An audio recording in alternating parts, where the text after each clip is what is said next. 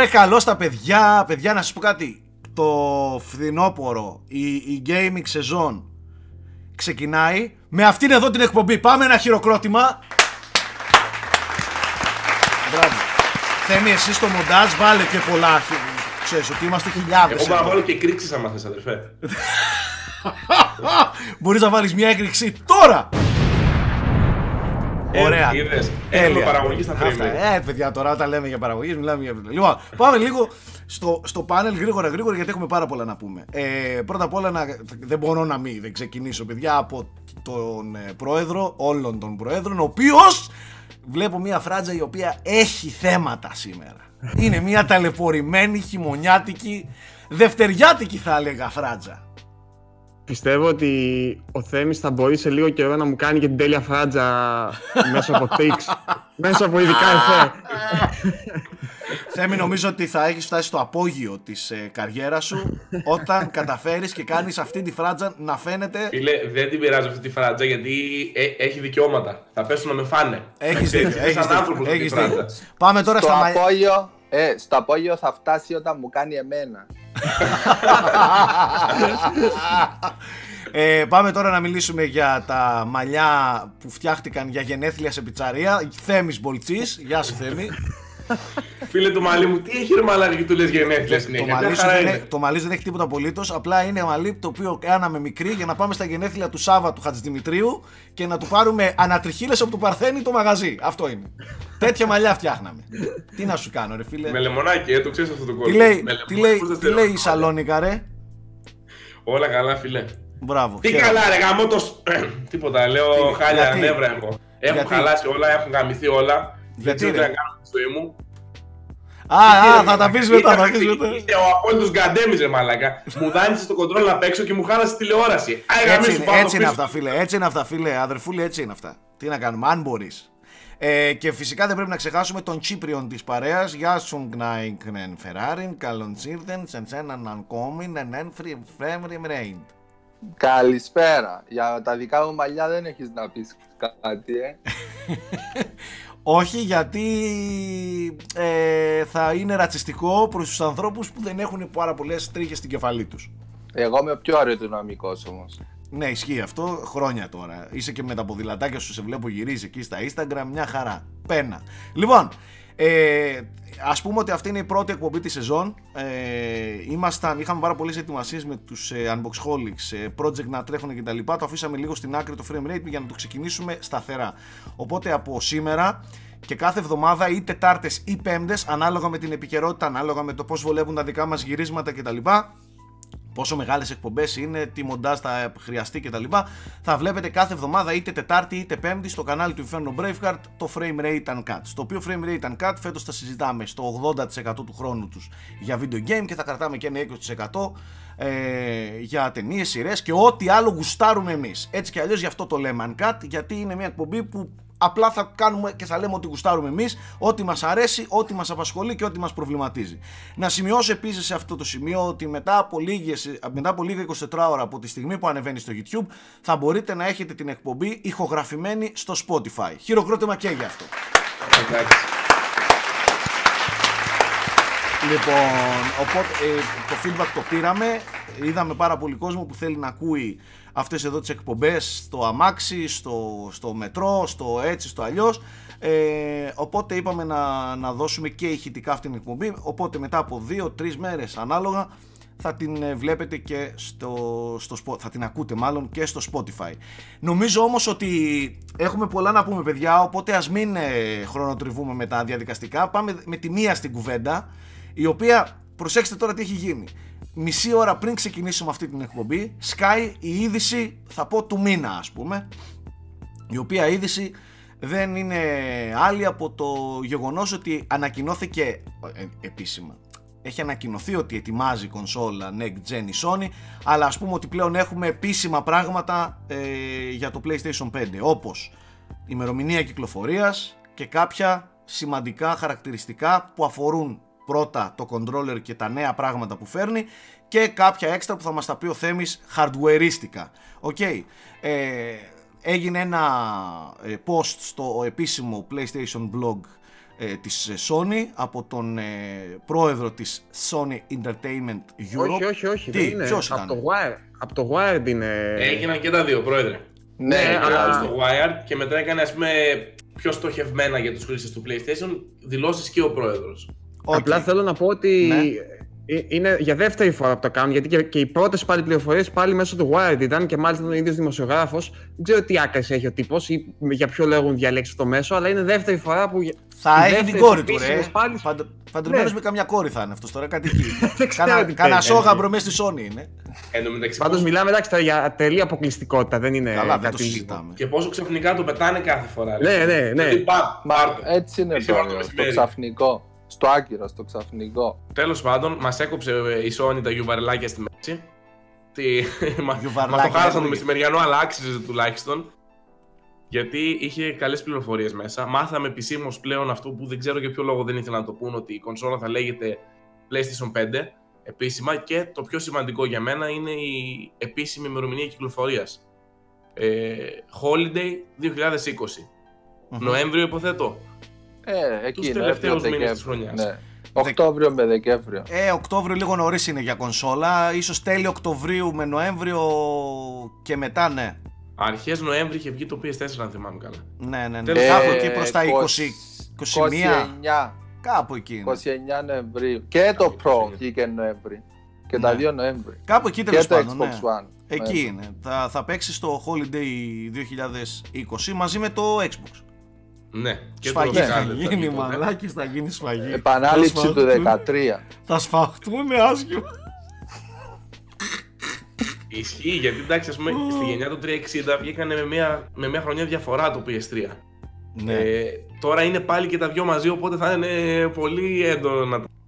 Ήταν τέσσερις μήνες το, η διαφορά του 360 από το PS3. Και ενώ τα, το PS4 και το Xbox One X βγήκανε τον ίδιο μήνα. ναι. Τέλος πάντων, ε, έρχεται στα πολύ... PS5 τώρα η ανακοίνωση περιλάμβανε και άλλες πληροφορίες. Ε, μίλησαν για το μοχλό, τον οποίο δεν τον λένε DualShock 5, αλλά λένε ο μοχλός για την επόμενη γενιά και ανέφεραν ότι θα έχει δύο μεγάλες καινοτομίες. Πρώτον, θα προσπεράσουμε την τυπική απλή δόνηση που έχουν τώρα τα χειριστήρια και θα πάμε σε ένα νέο σύστημα ε, απτικού feedback και έφεραν δύο παραδείγματα για αυτούς που δεν μπορούν να καταλάβουν ε, από αυτή την έκφραση τι ακριβώς εννοούν. Δεν θα είναι η δόνηση, θα είναι κατά κάποιο τρόπο σαν το HD Rumble του Switch. Δεν το, δεν το είπαν αυτό στο παράδειγμα. Είπαν ωστόσο ότι αν χτυπάς σε ένα racing παιχνίδι πάνω σε έναν τοίχο, η αίσθηση της δόνησης θα είναι εντελώς διαφορετική από το να κάνεις ας πούμε tackling παίζοντας FIFA. Και αν περπατάς ας πούμε με, σε ένα γρασίδι με τον ε, χαρακτήρα σου ή αν περπατάς σε λάσπες και κάνει αργά αργά βήματα θα είναι εντελώς διαφορετική η αίσθηση που θα αποδίδεται πάνω στο μοχλό. Σε Και μεγάλο μάλιστα- βαθμό αυτό ισχύει στο, στο Switch. Καταλαβαίνεις δηλαδή κάτι, κάτι καλύτερο στο feedback της δόνησης. Υποθέτω ότι θα το κάνουν ε, επειδή θα έχουν και περισσότερο χώρο σε ένα, σε ένα DualShock 5 ας το λέμε εμείς. Ε, ίσως το, το εξελίξουν αυτή, ε, αυτή την τεχνολογία ρε παιδί μου. Ο και την- δημοσιογράφος του Wired που το δοκίμασε ε, έμεινε τρομερά εντυπωσιασμένος. Έγραψε πολύ καλά σχόλια ότι του άρεσε πάρα πολύ Μάλιστα. αυτό που είδε. Και το, η δεύτερη Ε, καινοτομία. Κοιτάξτε, αυτός που ο θα- δημοσιογράφος με τέτοια αποκλειστικότητα που πήρε, να ξέρει ότι σε όλα θα Δεν ήταν μπορούσε να μην του εντυπωσιασμένος. αρέσει κιόλας, ναι. Ναι, πάμε παρακάτω. Η δεύτερη καινοτομία εντοπίζεται στα triggers, τα οποία τα ονομάζει Adaptive η Sony αυτή τη φορά. Και τι σημαίνει αυτό, οι developers πλέον θα έχουν τη δυνατότητα το L2 και το R2, τις σκανδάλες δηλαδή των μοχλών, ε, να τις προσαρμόσουν μέσα για το κάθε παιχνίδι τους, μέσα από το λογισμικό της κονσόλας, το πόσο αντίσταση να έχουν, δηλαδή το πόσο σκληρές να είναι. Οπότε έδωσε το παράδειγμα, αν παίζεις, ξέρω εγώ, Horizon Zero Dawn 2, ας πούμε τώρα θεωρητικά, και κάνεις το τόξο σου, το τραβάς, θα είναι εντελώς διαφορετική η αίσθηση από όταν γκαζώνεις, ας πούμε, στο επόμενο Grand Turismo.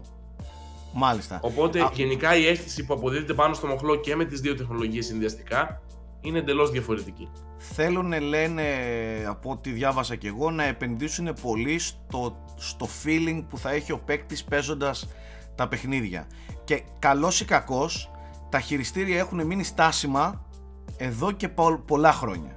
Είναι το ίδιο ακριβώς πράγμα. Πέρα από το ότι αλλάζει η εργονομία τους, ε, το feeling δεν έχει αλλάξει ριζικά παίζοντας τα, τα παιχνίδια.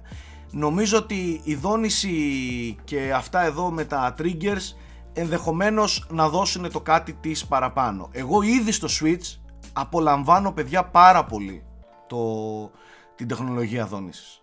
Ε, οπότε, αν το δούμε όντως εξελιγμένο στο PS5, ες, σίγουρα θα είναι ένα από τα θετικά. Επίσης, αυτό που θέλω να πω είναι ότι θα έχει πολύ ενδιαφέρον, ειδικά στα adaptive triggers, τι θα κάνουν σχεδιαστικά, γιατί τα, οι σκανδάλες Nike του DualShock 4 δεν έχουν μεγάλη απόσταση, οπότε δεν ξέρω αν χωράει σε μια τέτοια απόσταση αυτή εδώ ολόκληρη τεχνολογία. Ίσως δηλαδή πειράξουν και, και τα triggers αυτά καθ' αυτά, τα κάνουν μεγαλύτερα, με μεγαλύτερη απόσταση, ναι. σαν του Xbox, έτσι δεν είναι; Ναι, ναι. Ε, ναι, άμα δεις ότι για τρεις γενιές από το PlayStation 1, 2, 3, τον DualShock ε, ελάχιστα είχε αλλάξει, ε, ε, το, στο 4 ήταν πολύ μεγάλο το άλμα σχετικά, η εργονομία του και όλα ναι. αυτά, οπότε και, και στο 5 αναμένω αντίστοιχη ε, αλλαγή. Εγώ ένα από τα ίσως... που... Ναι. Πες. Ίσως γι' αυτό ε, ο Θέμης είπε ότι ακόμα δεν το ανακοίνωσαν ως DualShock 5 αν και είναι ναι. δυνατόν brand name ε, τον DualShock συνάδει με το... Η μορφή ναι. δεν ήταν τελική ας πούμε. Ναι, οπότε ίσως το ονομάσουν κάπως αλλιώς όντως να δώσουν έμφαση σε αυτές τις νέες τεχνολογίες να πούν α, είναι, δεν είναι ακόμη ένα DualShock, είναι κάτι άλλο, ξέρω εγώ, Super ναι, Shock, ναι, ναι, ναι. Όπως, όπως, τότε, yeah. όπως τότε το, το Six Axis ακουγόταν Six Axis ακουγόταν πολύ πιο έντονα. Βέβαια δεν πέτυχε δεν μπόρεσε να το προωθήσει σωστά ας πούμε και να περάσει στη και μετά ξαναγυρίσαμε στο DualShock ε, γιατί έτσι ναι. έπρεπε. Ίσως τώρα εάν, αυτά έχουν να κάνουν με το, με το marketing. Εάν επενδύσουν ναι. μαρκετίστικα πολύ στο, στο feeling γιατί τι, τι σκέφτομαι εγώ; Πάνω κάτω το hardware της κονσόλας θα είναι ίδιο με το Xbox λίγο καλύτερο, λίγο χειρότερο, δεν έχει σημασία. Μιλάμε για πάνω κάτω ίδιο hardware. Ε, οπότε δεν ξέρω, δεν μπορούν φέτος να πούνε Α, Real 4K, Α, Real HDR, Α, Real Ray Tracing, γιατί θα τα έχουν όλα. Ενδεχομένως να ε... επενδύσουν πολύ μαρκετίστικα σε κάτι που αφορά το χειριστήριο. Έλα Γιώργο, σε βλέπω χασκογελάς. Εγώ γιατί... πιστεύω, πιστεύω Σάκη ότι δεν είναι τυχαίο ότι δίνουν αυτές τις ψηλοβαρετές πληροφορίες, τις τεχνικές, λίγο να πω τώρα πρόχειρα. Τέλος πάντων, τι δίνουν για το κοινό που ξέρει ότι τι θέλει να τις αποκτήσει και να τις αποκτήσει όπως και να τις δώσουν. Πιστεύω ότι η μεγάλη σφαγή θα γίνει στα παιχνίδια που θα παρουσιάσει και ότι η μεγάλη παρουσίαση του PlayStation 5 θα είναι εστιασμένη μόνο σε παιχνίδια και τίποτα άλλο. Δεν νομίζω να κάτσουν να ασχοληθούν. Εννοώ ότι ναι, δεν θα είναι σαν αν θυμάσαι PlayStation 3, α, δείτε τη δύναμη του Cell και δεν ξέρω κι εγώ τι. Ναι, θα Πάρτε αυτό. Μόνο την εμφάνιση της κονσόλας. Εγώ, ε, εγώ εντάξει, Γιώργο. Ε, Γιώργο... τα specs θα σταθούν. Αυτό πιστεύω, που θέλω να πω, Γιώργο, είναι ότι. Ακριβώς η κονσόλα σαν hardware θα σταθούν. Δεν ζούμε στις εποχές πλέον που τα specs μετάνε κάπου. Ιδίως από τη στιγμή που το Xbox, όπως λέτε, είναι ίδιο, ιδίως που έρχεται και το streaming, τα specs δεν μετάνε πουθενά, πιστεύω πλέον. Γιώργο, δείξε μου το παιχνίδι, δείξε μου το μεγάλο σου brand name οι άλλοι θα φέρουν το Halo, λογικό έτσι. Δείξε μου και εσύ τι έχεις και θα δεις τι σφαγή θα γίνει. Θα σου πω το εξής. Ε, μπορεί για σένα και για μένα να μην ισχύει και για αρκετά μεγάλο μέρος ε, του gaming κοινού.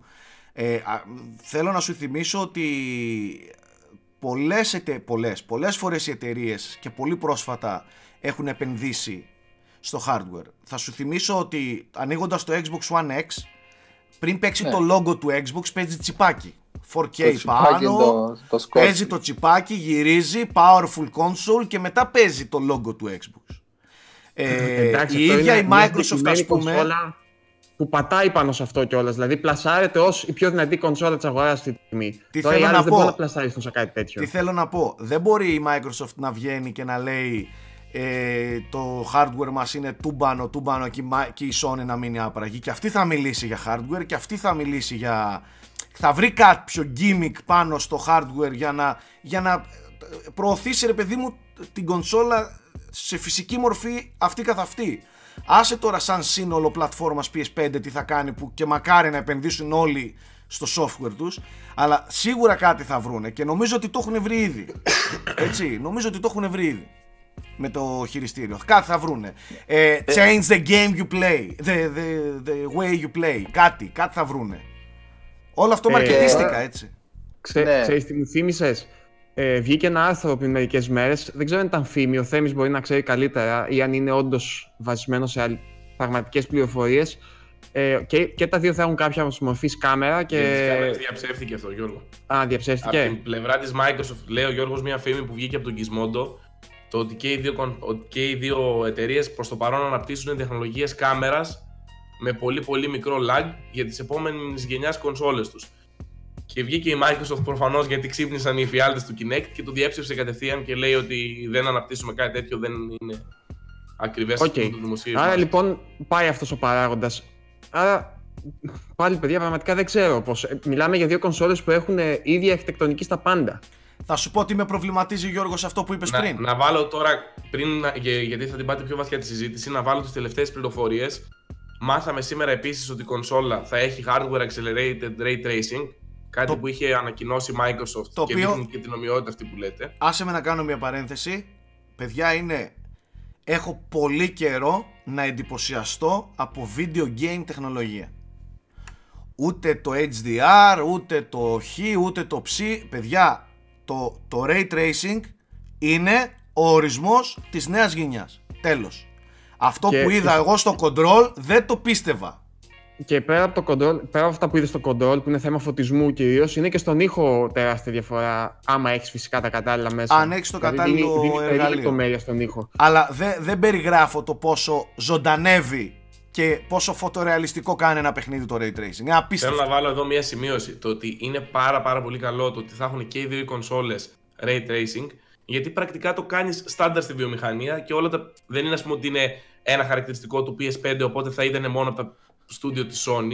Εφόσον είναι ένα ιδρυωμένο χαρακτηριστικό σε όλες τις πλατφόρμες, συν το PC, ε, θα αρχίσει να μπαίνει σε όλα τα παιχνίδια και πρακτικά θα Πολύ δούμε ένα σκο- πολύ μεγάλο άλμα. Πολλοί κόσμος νομίζω ότι το Ray Tracing είναι οι αντανακλάσεις και τα φώτα.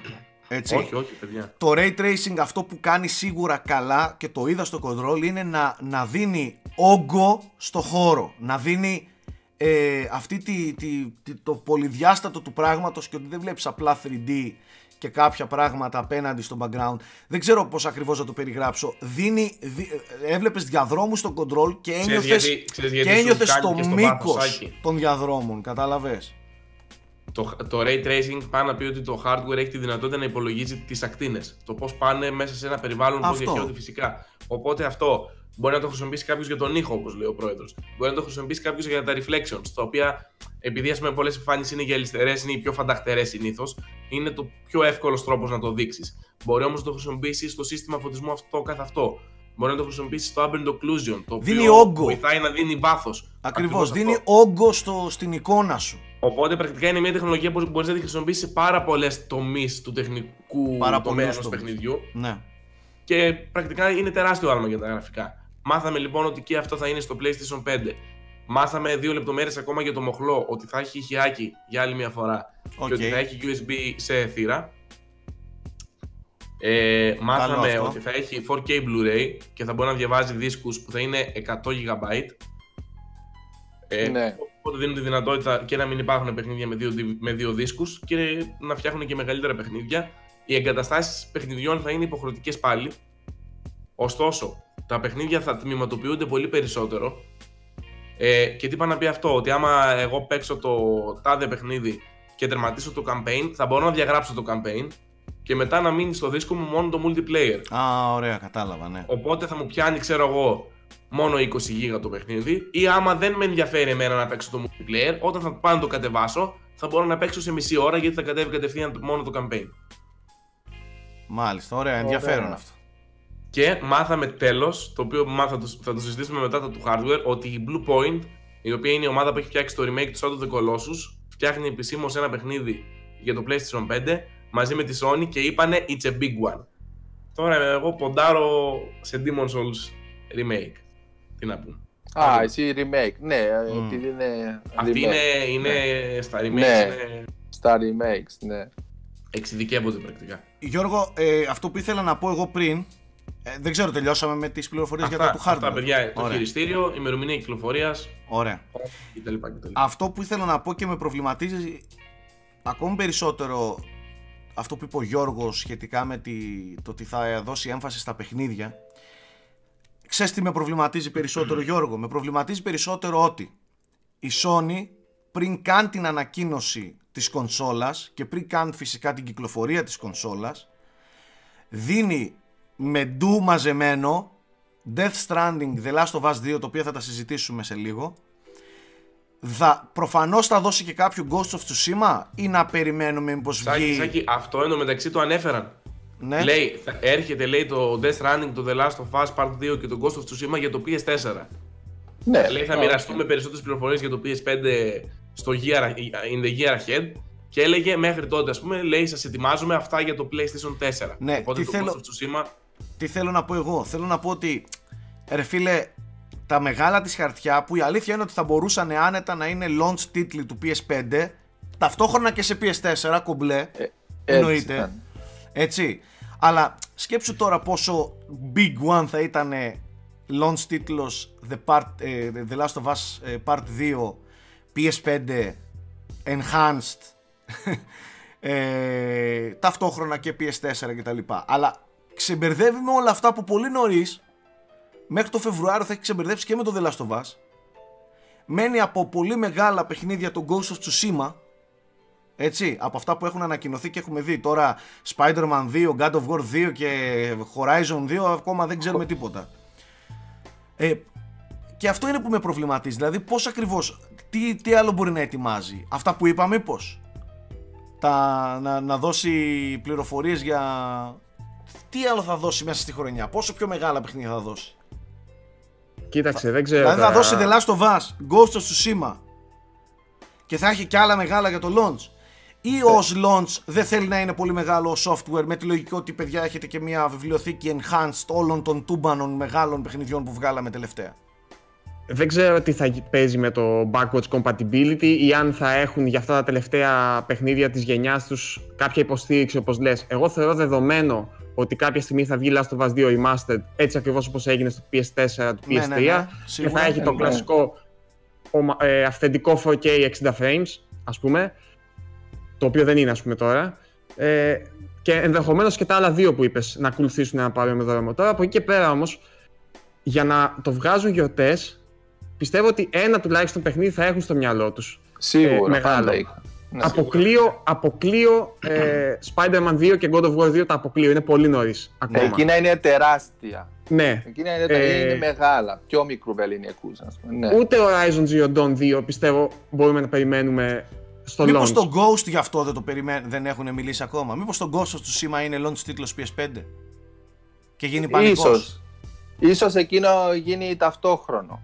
Ίσως, ναι. Ναι, ε, όταν Ε, λέμε μην ε, ξεχνάτε. launch τίτλος παιδιά εννοούμε ότι θα κυκλοφορεί και στο PS4. Δεν αλλάζει δηλαδή, τα, τα- δεν αλλάζει τα δεδομένα ότι α, μας ακύρωσε στο PS4 το Ghost. Το Ghost θα κυκλοφορήσει κανονικά PS4. Μήπως το δώσουν και σαν launch του 5. Γιατί παιδιά αυτό που είδαμε στην E3 ναι. δεν μου κάθεται για PS4 τίτλος. Αλήθεια Και σας το όμως, λέω. Άκη, και όμως έτρεχε σε PS4, το, έχουν παίξει, το έχει παίξει κόσμος. Ναι, ίσως, ε, κοίταξε, εάν, εάν βγει ταυτόχρονα και στο 5, πρέπει όντως να έχει αισθητή διαφορά στο 5, ώστε να πουλείται ε, launch τίτλος του 5 και αυτό να είναι system seller του 5. Αλλά απ' την άλλη, ε, δεν νομίζω να ανεβάσουν, να, να κυκλοφορήσουν τα πολύ τεράστια τους χαρτιά στο launch του 5, γιατί χαντακώνουν λίγο το, το παιχνίδι το ίδιο, σε ένα μηδενικό install base, καταλάβες. Ναι. Δηλαδή, αν θυμηθούμε στο PlayStation 4, βγήκε με Killzone Shadow Fall και μετά από λίγο βγήκε το Infamous στο Second Sun. Δεν, ε, και το ίδιο και έγινε και στο PlayStation 3. Βγήκε το Motorstorm και δεν θυμάμαι τι, ξέρω εγώ. Το πολύ τεράστια δεν κυκλοφοράνε πλέον σε πολύ υγιές install. base. Resistance είχε κυκλοφορήσει στο... Μπράβο, Resistance Fall of Man και το Motorstorm, ναι. Ναι, στο 3. Ε, Εγώ οπότε... είμαι σίγουρος. τε- ολοκλήρωσες. Σίγουρα κάτι θα βγει. Κάτι θα βγει, αλλά θα, νομίζω θα είναι μέσου βεληνικούς και ταυτόχρονα θα ποντάρουν και στα PS5 Enhanced. Ξέρω εγώ. Συμφωνώ Ναι, γιατί και εγώ ότι σκεφτείτε- μάλλον σκεφτείτε κάποιο launch- παιχνίδι- Ε, Θέμη, συγγνώμη λίγο. Σκεφτείτε launch PS5 με enhanced, εγώ δεν λέω remakes και remasters. Enhanced Death Stranding, enhanced The Last of Us Part 2, Ghost of Tsushima ταυτόχρονα cross, έτσι, enhanced Spider-Man, enhanced God of War, ξέρω εγώ, τι να πω. Πάντ- Εντάξει, απ' την άλλη, μο- μόνο με Enhanced δεν τη βγάζεις, γιατί Σίγουρα, πες μου, σίγουρα. πόσοι θα είναι οι early adopters του 5 που δεν είχαν 4. Με το, βασικά με το install base του 4, ελάχιστοι θα είναι αυτοί που θα πάρουν 5 και δεν είχαν 4. Και τα έπαιξαν λογικά. Οπότε πρέπει να έχει κάτι, κάτι εντελώς δικό του, ειδικά όταν θα ανταγωνιστεί Halo Infinite και ίσως και κάτι από τη Turn 10 ή από την Playground Games. Πρέπει να δούμε και θα... πώς θα χειριστεί ε, σαν brand το, το PS5. Δηλαδή πώς θα τοποθετήσει επικοινωνιακά την πλατφόρμα στην PlayStation οικογένεια. Δηλαδή αν την τοποθετήσει σαν κονσόλα η οποία πάει το PS4 στο επόμενο επίπεδο, το PlayStation στο επόμενο επίπεδο αναβαθμισμένο, αλλά το PS4 παιδιά υπάρχει κανονικά, ζούμε, το θεω... ας πούμε ότι είναι το Pro του Pro το PS5. Αν το τοποθετήσει έτσι, αλλάζει. Αν το τοποθετήσει σαν μια νέα γενιά, νέα, εντελώς νέα, νέο brand, νέα κονσόλα που αφήνουμε πίσω για την ώρα, ναι μεν υποστηρίζοντας με τίτλους, αλλά εγκεφαλικά το αφήνουμε πίσω το PS4, τότε αλλάζει. Απλά μένει να δούμε πώς το το επικοινωνείς. Σάκη, νομίζω ότι από τα μέσα τώρα λεγόμενά τους θα γίνει αυτό που λες το δεύτερο. Γιατί το έχουν πει ότι πιστεύουν στις κλασικές παραδοσιακές γενιές και το αναφέρουν πρακτικά ως η επόμενη γενιά κάθε φορά. Απλά το PS4 θα συνεχίσει να υπάρχει με την App Store έχει και backwards compatibility το PS5 και με την υποστήριξη θα δίνουν παιχνίδια στο, στο PS Plus κτλ. κτλ. Ξέρεις γιατί το λέω παιδιά; Θα βγαίνουν τα FIFA θα σου, θα σου πω γιατί, γιατί προβληματίζομαι Με τις, με τις εταιρείες να, να ποντάρουν πολύ και να ετοιμάζουν έδαφος στο, στο streaming, στο Play Anywhere Το ζήσε την εμπειρία PlayStation ξέρω εγώ παντού ε, Έχω κάτι πολύ σημαντικό να πω εδώ πέρα. Δεν ξέρω αν μπορεί, αν, αν είναι πρέπον για τη Sony να ποντάρει 100% σε μια, σε, σε μια έλευση μιας ολοκένουργιας γενιάς και να αφήσει πίσω 100 πόσους έχει εκατομμύρια χρήστες PS4. Ίσως σας λέω το τοποθετήσει δίπλα, ε, δίπλα στην οικογένεια των PlayStation που υπάρχουν PS4 Pro πλέον, άστο απλό στο PS4 Pro και ουσιαστικά δώσει σαν, το δείξει σαν μια super αναβαθμισμένη next gen εμπειρία αλλά τα παιχνίδια μας θα κυκλοφορούν κανονικά. Λέω. Όχι, δεν, δεν νομίζω, Σάκη. Πιστεύω θα, θα, θα δώσει το τελευταίο το ξεμπούκο αυτό με το The Last of Us, το Death Stranding και το Tsushima και μετά τέλος το PS4. Η Microsoft δεν μιλάει για Microsoft Platform. Η Microsoft έχει πει το αντίθετο. Η Microsoft έχει πει ότι δεν πιστεύουμε στις γενιές. Ότι είμαστε φλου. Θέλουμε γενικά ε, πώς το πω, hardware συχνά και ε, παίξεις όποια συσκευή θε. Εμάς μας ενδιαφέρει να παίζεις το παιχνίδι μας. Η Sony έχει δείξει όμως, ρε φίλε, ότι την ενδιαφέρει το. Ε, η Sony έχει δείξει το αντίθετο. Και θα σου πω το εξής. Μία είδηση που ίσως πέρασε λίγο απαρατήρητη γιατί δεν υποστηρίζεται ε, στη χώρα μας είναι ότι η Sony φέρνει, ανανέωσε όλο το PlayStation Now, το οποίο είναι το streaming της. Ναι. Και είναι και το Game Pass της, να το πούμε έτσι. Γιατί πληρώνεις μια συνδρομή, κατέβασε τις τιμές, πληρώνεις μια συνδρομή 10 ευρώ το μήνα και έχεις πρόσβαση σε κάποια παιχνίδια. Και μία από τις μεγάλες ανακοινώσεις, σε πάση περιπτώσει πέρα από τη μείωση τιμής, είναι ότι πλέον στο PlayStation Now θα έρθουν μεγάλα παιχνίδια όπως το God of War, το Uncharted και άλλα μεγάλα marquee titles θα ονόμασε, μεγάλοι τίτλοι ας πούμε και αποκλειστικά του PlayStation. Οπότε εγώ, αν είμαι ας πούμε Αμερικάνος και δεν είμαι στην Ελλάδα γιατί εδώ δεν υποστηρίζεται, μπορώ να βάλω στο PC μου το PlayStation Now και να παίξω God of War με streaming. Ωστόσο, ποια είναι η διαφορά με το Game Pass και το xCloud της Microsoft; Ότι το God of War και τα exclusives της Sony θα είναι εκεί για 3 μήνες. Και ανά 3 μήνες θα αλλάζουν οι μεγάλοι τίτλοι του PS Now. Οπότε τι μου δίνει εμένα να καταλάβω με αυτό, ότι πάρε την κονσόλα, γιατί αν θες να απολαύσεις την εμπειρία και να τα παίξεις σωστά και day one πρέπει να πάρεις την κονσόλα, αλλά θα το στηρίξουμε και το streaming και το Game Pass library συνδρομή φάση. Καλά, ας δούνε τα νούμερα που θα παίρνουν συνδρομητικά ε, οι άλλοι και θα τα ξαναπούμε. Κατάλαβες, δηλαδή πρακτικά έκανε το δικό της Game Pass, δεν έχει τη δυνατότητα να τα κατεβάσεις στα PS Now, τα παίζεις υποχρεωτικά με streaming, αλλά τα έφερε, έφερε και τον God of War ας πούμε με streaming. Και να ξεκαθαρίσω, ότι, να ξεκαθαρίσω ότι εγώ είμαι υπέρ αυτής της λογικής, έτσι. Αυτή που, θε, που λες εσύ ότι θα κάνει η Sony. Νέα κονσολίτσα, νέα γενιά, νέα κουτάκια στα ράφια μου, νέα εντελώς. Να ξεσυνδέσω το PS4 Pro, να βάλω το PS5 θέλω. Κι εγώ. Ναι. Εμένα Ε, οι κινήσεις ναι. της μέχρι τώρα μου δείχνουν ότι είναι πιο διστακτική ως προς τη νέα αυτή προσέγγιση της Microsoft και ότι θέλει το πιο παραδοσιακό gaming. Ίσως Έτσι. για την ώρα επικοινωνιακά να θέλει να το δώσει έτσι. Ναι, Ίσως. τουλάχιστον η ανακοίνωση ας πούμε, του PS Now με το PS5 τώρα με όλα αυτά δείχνουν αυτό ότι θα τα κάνουμε και εμείς παιδιά αυτά, αλλά θα είμαστε παραδοσιακοί και άμα Θα θέλετε την δούμε καλύτερη δυνατή στην εμπειρία. E3 θα δούμε πού θα το. Η E3, με, στο, στις επόμενες Καλά, ναι, τώρα παρουσιάσεις κάνουμε της, και λίγο υποθέσεις εννοείται. Ναι. Πού θα τοποθετήσει και πώς θα τοποθετήσει επικοινωνιακά την κονσόλα στο PlayStation Αυτό. οικογένεια. Αυτό, αυτό, γιατί στην ουσία ακόμα δεν, ναι, δεν την επικοινώνησε. Ο Ακριβώς. καταναλωτής ακόμα δεν ξέρει πού στέκεται. Αυτό είναι εδώ που, είναι, θα- που θα παιχτεί το Ε, marketing. Ναι. Γιατί Εγώ πρέπει να είναι και πάντως- προσεκτική, έτσι. Υπάρχει κόσμος που θέλει να αγοράσει μέχρι το 20 το PS4. Υπάρχει κόσμος που έχει τώρα αγοράσει κονσόλες της ε, Sony. Το PS4 Pro πουλάει σαν στο ψωμί πλέον. Δεν παίζουν εύκολα με αυτό επικοινωνιακά. «Α, Παιδιά, εντάξει, ό,τι ξέρατε για PlayStation 4, αφήστε το, εμείς πάμε αλλού. Γι' αυτό σας λέω ότι θα παίξει λίγο διστακτικά για την ώρα. Ναι, Γιώργο, κάτι έλεγες. Όχι, εγώ πήγα να πω ότι και, και εγώ την ίδια αίσθηση με το Θέμη έχω και γενικότερα άμα διαβάσετε τις συνεντεύξεις τους αυτό που τονίζουν συνέχεια είναι ότι θέλουν να προσφέρουν όλες τις επιλογές. Ε, ναι μεν θα είναι όπως λες και εσύ Ισάκη το κλασική, κλασική συνταγή PlayStation που είναι και υπερεπιτυχημένη τελευταία χρόνια έτσι αφού είναι πρώτη Ναι. γιατί να θέλουν να αλλάξουν έτσι κι αλλιώς η Microsoft είναι που έπρεπε να ψαχτεί και να βρει έναν άλλον τρόπο ε, αλλά φοβούνται μην μείνουν και πίσω σε ε, οτιδήποτε υπηρεσίες κτλ. Οπότε νομίζω ότι όλο το PlayStation θα πλασαριστεί ως κάνει ό,τι γουστάρεις, σου προσφέρουμε και το δισκάκι, σου προσφέρουμε και το download άμα θέλεις, θα έχουμε και streaming υπηρεσία, θα έχουμε και τέτοια, όχι 100% μέσα όπως είναι η Microsoft, που είναι τα πάντα παντού χωρίς κανένα, χωρίς κανένα πρόβλημα ας πούμε για αυτήν, αλλά δεν θέλει να μείνει πίσω σίγουρα. Και τώρα που σκέφτομαι όλα αυτά που λέτε, τελικά α- αναθεωρώ λίγο για αυτό που είπα για τα παιχνίδια. Ενδεχομένως, μόνο για να εξηγήσεις όλα αυτά, είναι μια διαδικασία παρουσίασης του PlayStation που όντως θέλει πολύ χρόνο, ρε παιδιά. δηλαδή, Αυτό- όντως αυτό, ρε να παιδί. φύγουν κάποια βασικά πράγματα από τη μέση και μετά έχει να εξηγήσεις Παιδιά, πότε ατελείωτα πιστεύετε πράγματα ότι του θα πώς θα παρουσιαστεί; λειτουργεί. Ναι, πρέπει να πείσεις πρέπει να πείσεις καταναλωτές που θα ακούνε ήδη και, από τη, και την άλλη μεριά της Microsoft. Εγώ Το κάνω σίγουρο την είναι ότι ερώτηση. οι πωλήσει PS4 Pro θα πατήσουν φρένο. Από σήμερα και μέχρι του χρόνου.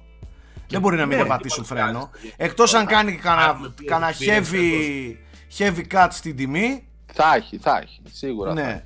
Ε, μόνο έτσι. Αλλά Ε, ξαναλέω. δε- Δεν είναι περίεργο που, που, το, που βγάζουν αυτή την πληροφορία λίγο πριν τις γιορτές. Δεν Ε, είναι ναι, λίγο για- σαν να... Ε, αυ- ναι, αυτό θα κοιτάξτε, ήταν ωραίο από το Γενάρη να το επικοινωνούν. Έτσι δεν Ναι, είναι. Όχι. Και τώρα. Μπράβο, γιατί, πες και ότι το τώρα. Γενάρη το 20 βγαίνει, τέλη του 20 βγαίνει ρε παιδιά, οκ. Αλλά Και τώρα... ξαναλέω, ξέρω. μήπως θα δούμε την παρουσία στο Δεκέμβριο σε κάνα Play Experience. Ε, ίσως, ναι. Αλλά Ναι, έτσι- άλλο λέει ο Γιώργος όμως ότι το Δεκέμβριο θα πουλούσε κονσόλες η Sony. Μα πάλι θα Ε, πουλήσει. Απλά Με με πιο... Death Stranding και Last of Us που έχετε Ναι, κιόλας. ναι, ναι. Θα πουλήσει, αλλά θα είναι πιο φτηνές. Μπορεί, να πατήσει και μία μείωση τιμής και να σου πω Ναι, πώς θα πάλι θα πουλήσει. πουλήσει, δεν λέω ότι θα πουλήσει, αλλά πιστεύω θα πουλούσε περισσότερες αν δεν Α. είχε αυτή την ανακοίνωση. Ε, σίγουρα Τώρα, κάποιοι τι να θα πω, πατήσουν φρένο. Κάποιος ο οποίος έχει με το ζόρι τα 400 ευρώ να δώσει και τα 500 για. Εμένα, παιδιά, ξε- ξέρω δύο φίλους μου, οι οποίοι μου είπαν πριν μερικές μέρες, μόλις μάθεις πότε κυκλοφορεί το PS5, πες μου για να πουλήσω το 4. Και Α, να και ετοιμαστώ για το αυτό. 5. Ναι, και αυτό. Πριν χάσεις Α. και καλά την αξία του το 4, ας πούμε, πριν μαθευτεί, ας πούμε, γενικότερα. Κάπως έτσι. Τώρα τι να πω. Ε, μα ένα χρόνο τι θα παίζεις; Ναι, εντάξει, αυτοί, αυτοί δεν είναι Ε, τώρα gamers. εντάξει, δεν είναι που- gamers, ε, δεν είναι Δεν τους όλοι ένοιαζε έτσι. και τόσο, ρε παιδί μου. Ήταν, ξέρεις, πιο πολύ ενθουσιάστηκαν με το νέο, με τη νέα κονσόλα κτλ. Παρά τους νοιάζει τόσο πολύ να παίξουν. Θα παίζουν Εγώ Fortnite στο κινητό, κι αν θέλεις. Εγώ Αυτό- πάντως όποιος με ρωτάει αυτή τη στιγμή αν είναι να πάρει κονσόλα, του λέω να περιμένει Τι να περιμένει; προσωπικά. Αν με ρωτήσει κάποιος αυτή τη στιγμή Ε, τι ναι. να πάρω, αν δεν έχει και. Αν- είναι πολύ περίεργη η περίπτωση. Είναι δύσκολη Τι ερώτηση λες, ρε να απαντήσω. Θέμη; Όχι, Ανάλογα είναι το Αν ποιος ότι- έχεις ρωτάει. ένα μισάκι που μπορείς να παίξεις πέντε πράγματα. Τι λες, ρε Θέμη; Κάτι Ε, κάνει. Άνθρωπος ο οποίος τώρα δεν είναι super hardcore ε, gamer. Ε, τι να Ε, γιατί να περιμένει, Του- θα πάρει με ένα πακέτο 350 ευρώ ένα PlayStation 4 Pro ή ένα Xbox ή ένα ε, Nintendo θα σου πω εγώ για να μην Η έχουμε τους Nintendo αγοράει φανατικούς. σάφοβα. Switch αγοράει Ναι. σάφοβα. Παίζει. Και έχεις Switch μια αγοράει βιβλιοθήκη τίτλων πανέμορφων ε, για 20 Αυτό, χρόνια. αυτό. Τι λες Και- και τώρα; πολύ- Απλά φτηνά ρε φίλε, κιόλας. όταν και το PS5 και το Scarlett θα έχουν backwards compatibility, γιατί να μην περιμένεις ένα χρόνο να παίξεις όλα καλύτερα εκεί πέρα και να χαλάσει. Θέμη, και αυτή- τώρα... αυτοί πιστεύω είναι λίγοι που θα μπουν στη διαδικασία Α, τι θα κάνω κτλ. Υπάρχει κόσμος που θέλει να βάλει κάτι κάτω από την κονσόλα του να παίζει να απολαύσει. Τώρα είναι κατάλληλη Ναι. περίοδος. Δεν υπάρχει καλύτερη. Με Death Stranding για το PlayStation, ας πούμε, για Χριστούγεννα δεν υπάρχει καλύτερη περίοδος. Και με ένα μήνα μετά το The Last of Us. Ή- Η- Ίσως φταίει η ότι αυτή η Microsoft- γενιά είναι λίγο ακριβή ακόμα. Έτσι. Η Microsoft Άλλες έχει φορές, φτάσει ναι. πλέον, έχει γυρίσει την μπάλα της, έχει δώσει αποκλειστικούς, αλλά μια χαρά. Η- Το Switch πετάει. Κάθε μήνα έχει δεκάρια σε παιχνίδια. Γιατί να μην πάρει κονσόλα τώρα το, το παλικάρι; Μόνο το Τι Switch λες; πιστεύω αγοράει άφοβα. Εν τω μεταξύ, μια παρατήρηση. Το PS2 ρε μάγκες, στα τέλη του έκανε σχεδόν 90 ευρώ. Αυτές οι κονσόλες αυτή η γενιά γιατί έχει μείνει τόσο ακριβή. Κοιτούσα Ε, το μα- Xbox One X τις προάλλες και κάνει 529 ακόμα.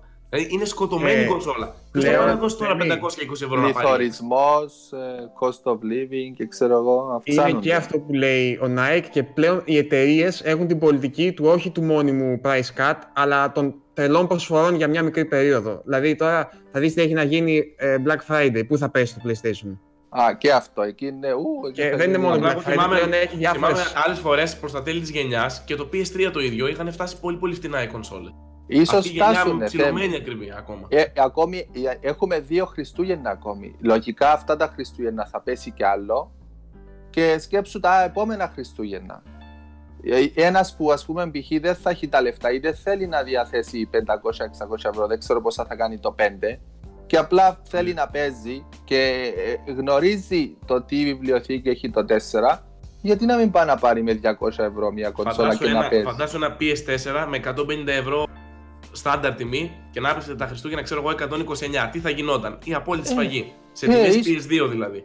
Ίσως Παιδιά, γίνει. αυτή τη στιγμή, Θυμάστε- επειδή το ψάξα πολύ πρόσφατα, αυτή τη στιγμή η φθηνότερη κονσόλα της, της ε, υπάρχουσας γενιάς, τώρα δεν μιλάμε για DS και DSi και τέτοια και 3DS, τώρα ε, η φθηνότερη κονσόλα που κυκλοφορεί στην αγορά είναι το Xbox One S στα 219 ευρώ σε κάποια πακέτα τύπου Minecraft κτλ. Αυτό που δεν έχει το CD λες.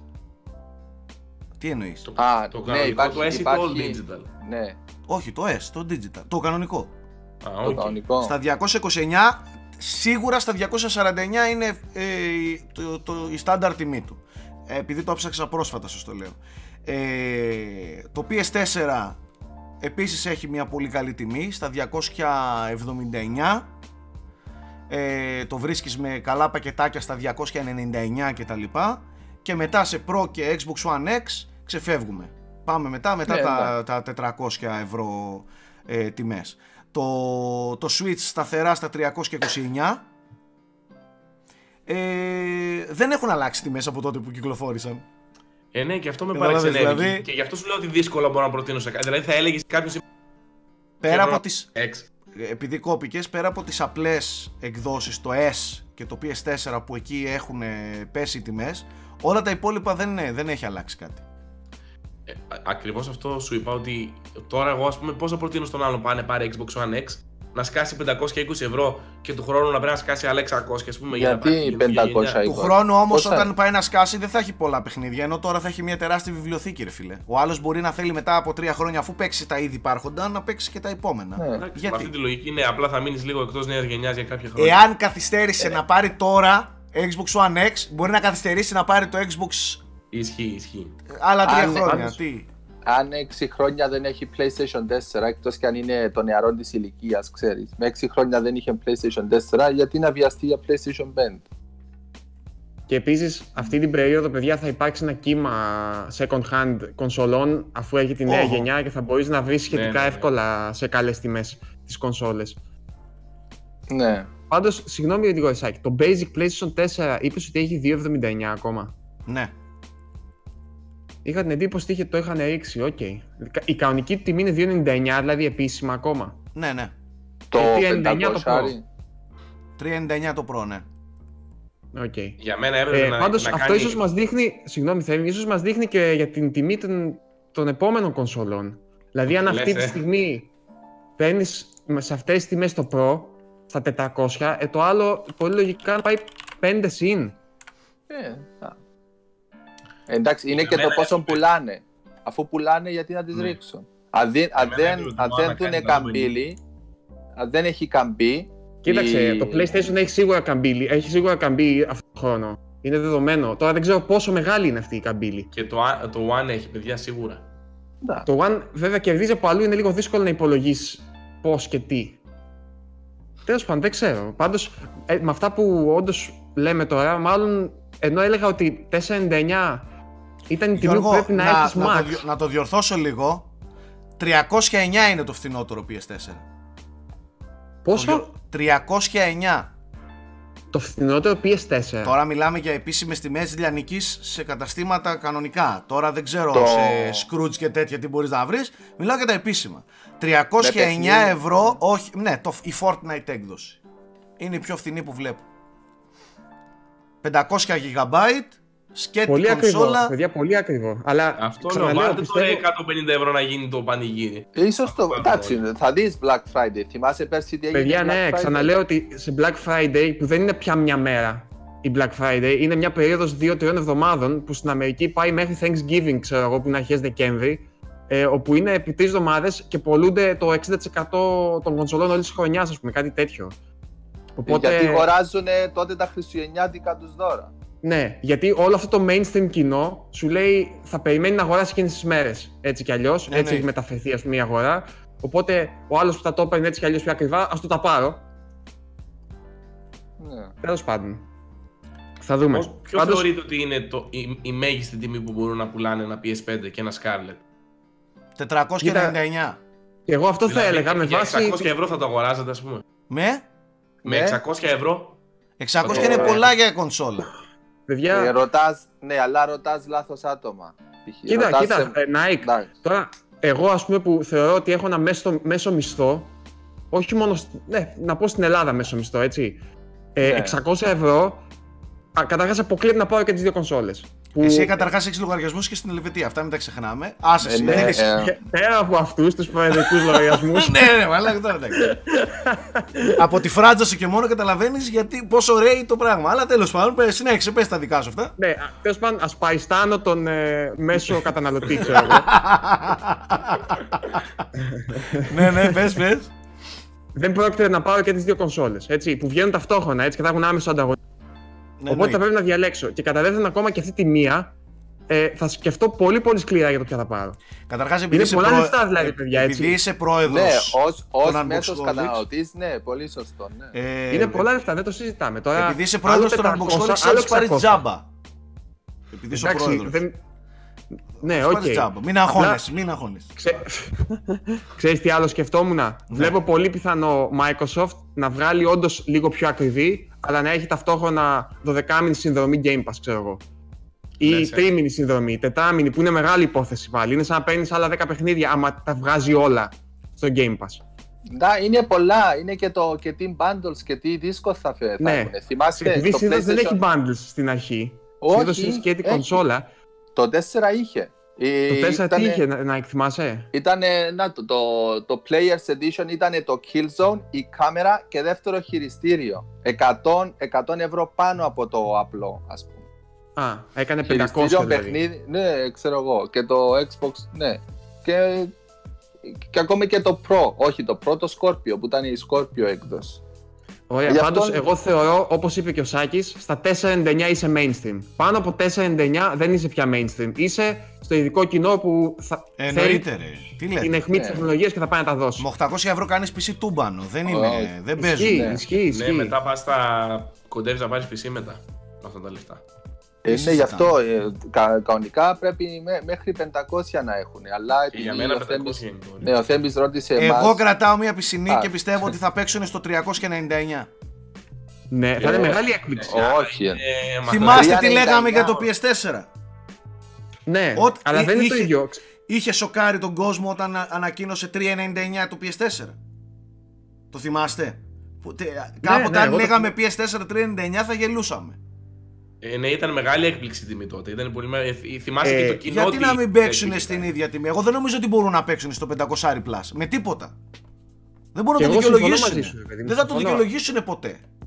Next gen, ναι, καλά γραφικά, ναι, τι- τι θα πούν. Απλά στο Κατάλαβες. 399 πιστεύω θα πουλάνε με, με, Με με χασούρα. ζημιά. Εντάξει, θα ποντάρουν στα παιχνίδια και ναι, στα και μετά ποντάρεις στις στα άλλα. συνδρομές. Εκεί. Η Microsoft Στις πιστεύω το δρομές. έχω, την έχω πολύ να το κάνει. Ιδίως μετά το, τη σφαλιά που έφαγε με τα 499 με το Kinect. Η Microsoft για να Ελπίζω- πουλήσει. η Ελπίζω στο Θεό Microsoft- να μην βάλουν καμιά κάμερα μέσα και πουλάνε Ναι. πάλι πιο ακριβά. Περίμενε, δηλαδή, η- εντάξει. η, η Microsoft για να πουλήσει Game Pass να ξέρετε ότι θα σας δώσει και τζάμπα την κονσόλα. Κάντε ένα μήνα εγγραφή και πάρτε δώρο την κονσόλα. Είμαι σίγουρος για το Game Pass θα κάνει τα πάντα. Δεν υπάρχει περίπτωση. Και μπορείτε να, το ακυ... που βάζεις τώρα ένα Xbox. μπορείτε να την ακυρώσετε ανα πάσα στιγμή, αλλά κα- κρατήστε την κονσόλα. Είναι σαν, σαν, τα, σαν τα ψυγεία Coca-Cola. Φέρε η Coca-Cola στο μαγαζί σου και εγώ θα σου φέρω ψυγεία. Κατάλαβες; Ίσως Δεν, παίξουν έτσι. νομι... Δ- δεν νομίζω να επαναληφθούν οι τιμές του PlayStation 3 αλλά θυμίζω ότι το PlayStation 3 κυκλοφόρησε στη μι- στην τιμή που κυκλοφόρησε και το πήραν αυτοί που το πήραν. Αλλά, ναι, 600, εντάξει, 649 Γιώργο, πόσο είχε. ε, το... Ήτανε, παιδιά, στην Ελλάδα ναι. και ήταν Το πολύ 60. ακριβό. Το 60, το FAT, το μεγάλο με, 60, με ναι. το, FAT, slot, το, πι- το slot, SD card slots κτλ. Ε, τα- Ναι, ναι, ναι. 600 τόσο είχε. 619, κάτι τέτοιο. Ε, ναι, και, και, και τη πήρε 2,5 χρόνια να ορθοποδήσει μετά. Γιατί όπως σύμφωνα με το κουταράκι χρειαζόμασταν δύο δουλειές για να πάρουμε Έτσι. δύο Power of μισθούς. the cell. Ο Πρέσκα, ας πούμε, που είναι μόνο ένας μισθός, ε, δεν μπορούσε να. Δεν, δεν, όχι, δεν μπορούσε. Δεν δικαιούταν να έχει πει. Δεν το πήρα κιόλας, δεν το πήρα. Το πήρα, δεν δεν το το πήρα. πήρα. Δεν το πήρα στο Καλά launch. έκανε. Και Ε, ξέρει γιατί δεν το παιδιά, πήρες; Γιατί δεν είχες δεύτερο μισθό. Έτσι, δεν το δικαιούμουν. Ε, αυτό Δεν είπα, το δικαιούμουν δεν αυτό- αυτή δικαιούσε. την υπέρτατη κονσόλα. Καταρχάς, στα γραφ- γραφειοκρατικά δεν σου δίνανε στην, την απόδειξη. Δεν στο, δεν στο δίνανε άμα δεν πήγαινες με, με παραστατικά μπροστά σου. Φορολογική. Πόσα βγάζεις Πόσα τόσα. βγάζεις, ρε. Δεν, δεν δικαιολογείσαι. Πήγε δικαι- Δεν δικαιούσε. Πήγε με δεν μπορείς. φλέμπα από εδώ που θες και PS3. Το πόθεν έσυχες εδώ πέρα δεν, δεν μας βγαίνει φίλε. Μιλάμε για σέλ, οχταπύρινο που γιατρεύει καρκίνους και τέτοια. Δεν είσαι εσύ γι' αυτά. Δεν είσαι. Έτσι, έτσι. Κάτσε εκεί με το, με το Nintendo Wii και πολλά. Ε, εν τω μεταξύ, ξέρετε τι δεν έχουμε σχολιάσει; Την πολύ μυστήρια απομάκρυνση του Σον Λέιντεν. Ναι, Ναι. και αυτό. Η οποία έγινε πολύ απότομα, πολύ αθόρυβα. Ο ίδιος του δεν είπε τίποτα. Ο ίδιος δεν έχει πει τίποτα. Έχει μείνει εκεί, σε αυτή την περίεργη ανακοίνωση που έβγαλαν. Και δεν ξέρω τι συνέβη, ας πούμε. Φαίνεται σαν κάτι χοντρό να έχει συμβεί. Γιατί Θα σου πω, ξεκίνησαν βέβαια οι συνωμοσιολόγοι να λένε ότι υπάρχει διαμάχη εσωτερικά για το ποιος θα πάρει τη μεγαλύτερη καρέκλα κτλ. κτλ. με, Αλλά το, με βγήκε τον Jim σήμερα- Ryan είναι η μεγάλη Ναι. κόντα, υποτίθεται Ναι, έτσι. ναι, Βγήκε ναι. σήμερα από το Kotaku ο δημοσιογράφος ο, Ο Schreier. ο Ja- ο Jason Schreier, πώς λέγεται. Ναι, ναι. Ε, Εν πάση περιπτώσει, συγχωρέστε με ας- που κάνουμε λάθος το όνομά του. Ε, βγήκε από την άδειά του και είπε ότι έχει ακούσει και έχει μιλήσει με developers ότι οι φήμες αυτές δεν πολύ ισχύουν και ότι το μήνυμα που φτάνει στους developers για το PS5 έχει συνοχή και δεν έχει φτάσει στα αυτιά του κάτι τέτοιο. Οκ, πέρα από αυτό, αυτό είναι πολύ καλό βέβαια γενικότερα για την οργάνωση του PS5, αλλά δεν θεωρείται ότι ήταν πολύ πετυχημένος στη δουλειά Ήτανε, του. ήτανε. Τα, τα χρυσά χρόνια του PS4 οφείλονται σε αυτόν. Σε Ναι, αυτόν ρε, τον όχι μόνο πράγμα. PS4, τη Sony ως Της- studio, της γιατί Sony ήταν ως υπεύθυνος Τον στο Ναι. των Worldwide Studios, ας Ναι, πούμε. ναι, Ο- παιδιά, ξεκάθαρα. όλης της οργάνωσης. Υπό τη φροντίδα αυτού βγήκε το God of War, βγήκε το Spider-Man, βγήκε το Uncharted 4, βγήκε Παιδιά, το Horizon. Έχει και- βγάλει Sony έχει όλα, τα, χτίσει- όλα τα διαμαντάκια του, του PS4 αυτά τα, τα... Δεν τα λες διαμαντάκια. Η Sony έχει χτίσει μεγάλα IPs, exclusives, αντίστοιχα μόνο της Nintendo αυτή τη στιγμή. Από το PS4, έτσι. Πριν το PS4 σκεφτείτε λίγο. Τι είχε πριν το PS4 πολύ πολύ δυνατό χαρτί; Ένα God of Last War of τότε, Us, οκ. God of War, The Last of Us. Ε, The Last of Us, οκ, άντε, ας πούμε ότι είναι στο τέλος του PS3. Και το Uncharted, Ήτανε, Uncharted. ήταν, ήδη είχε μπει Gran σε, σε Turismo. PS4 ρυθμούς με το The Last of Us. ναι, και, και πάλι, Ναι. και άμα δείτε τα νούμερα αυτών των παιχνιδιών, δεν συγκρίνονται με τα μεγάλα τέρατα. Κοίταξε, Δηλαδή Γιώργο, ήταν τις, των 5-7 εκατομμυρίων, ξέρω εγώ, παιχνίδια. Γιώργο Άντε, πρέπει, 10. να, πρέπει να καταλάβουμε ότι αυτές οι θέσεις δεν είναι... ε, ε, δεν μπορείς να τις... Δεν, δεν σου ανήκουν. Τις υπηρετείς. Ναι, ισχύει. ε, δεν σου Ισχύει, ανήκουν. ισχύει. Ναι. Δεν δεν διαφωνώ καθόλου σε αυτό. Απλά. Ε, απλά όντως πολύ σημαντική απώλεια και δεν ξέρω πώς θα την καλύψει, με ποιον. Ναι, επειδή δεν βγήκε κάποιος να πει, ξέρεις, έφυγα μόνος μου ή όπως είπε ο Ρέτζι, ξέρω εγώ, αποσύρωμαι ή κάτι Α, Ναι, τέτοιο. ο Ρέτζι φαινόταν ότι δίνουν τα χέρια καλά, ας πούμε. Όχι Ναι. ότι... Ναι, ναι. Ναι. Μα και Τέλος πάντων, αυτό. ας περιμένουμε, και αυτό- ας περιμένουμε να δούμε τι θα γίνει, γιατί δεν έχει καν αντικαταστεί από κάποιον, νομίζω. Εγώ έτσι δεν έψαχνα είναι, σήμερα στα μεσημεριανά τις ειδήσεις και αυτά, δεν είχε τίποτα. Πίστευα Ναι, δηλαδή δεν ο ξέρω. Λιάγκας και αυτοί να δείξουν κάτι στις εκπομπές τους. Δεν δείξαν τίποτα για την απουσία και αν, έχουν, αν έχει προηγηθεί κάποιο, κάποιο Σιγή φασαρία. ηχθείω. Σιγή Σιγή ηχθείως. θείος. Μετά την αποχώρηση του Λέιντεν. Λοιπόν, να αλλάξουμε Τον θέμα. Leiden. Θέλετε να αλλάξουμε θέμα; Ωραία. Εγώ λέω να πάμε λίγο στα παιχνίδια που παίζουμε γιατί έχει ξεκινήσει πλέον η, το, πώς- πώς θα το πω, η κυνηγητική περίοδος των παιχνιδιών. Οπότε πέρα από εφέ και ομιλίες και τέτοια πράγματα και συζητήσεις ε, πρέπει να υπάρχει και το ζουμί, η ουσία που είναι το να παίζουμε τα video games. Αυτά για τα οποία μιλάμε όλη τη χρονιά πρέπει να αρχίσουμε να παίζουμε κάποια στιγμή και το καλό είναι ότι έχουμε ξεκινήσει πολύ δυναμικά. Δεν ξέρω για τους άλλους, αλλά εγώ έχω λιώσεις. δεν, δεν προλαβαίνω να τερματίσω παιχνίδια, γι' αυτό έχω πολλά εγώ να πω. Ε, Πες. θέλω να, ε, να ξεκινήσω εγώ. Έχουμε κι άλλα. Σου δίνουμε, σου δίνουμε την άδεια να ξεκινήσεις. Σας ευχαριστώ Ε, πάρα εγώ, εγώ λέω να το πάμε χρονολογικά και να μας πει πρώτα ο Θέμης για τον Gears. Ε, Νομίζω το πρώτο βγήκε Σεπτέμβρη, έτσι για δεν το είναι. αρχές Gears έχω να πω Σεπτεμβρίου. κα- και καλά και κακά λόγια. Διάλεξε τι θες Κακά. πρώτα. Άκου, άκου τι θα πει για Μ, κακά. Θα πει για το multiplayer. Ναι, θα πει για γιατί το έχω multiplayer. πιέσει. Το όχι. Θα πει για το multiplayer, παιδιά. Θα πει για το multiplayer, το ήξερα. Παιδιά, πολύ, πολύ κακό launch το Gears 5 στο multiplayer του.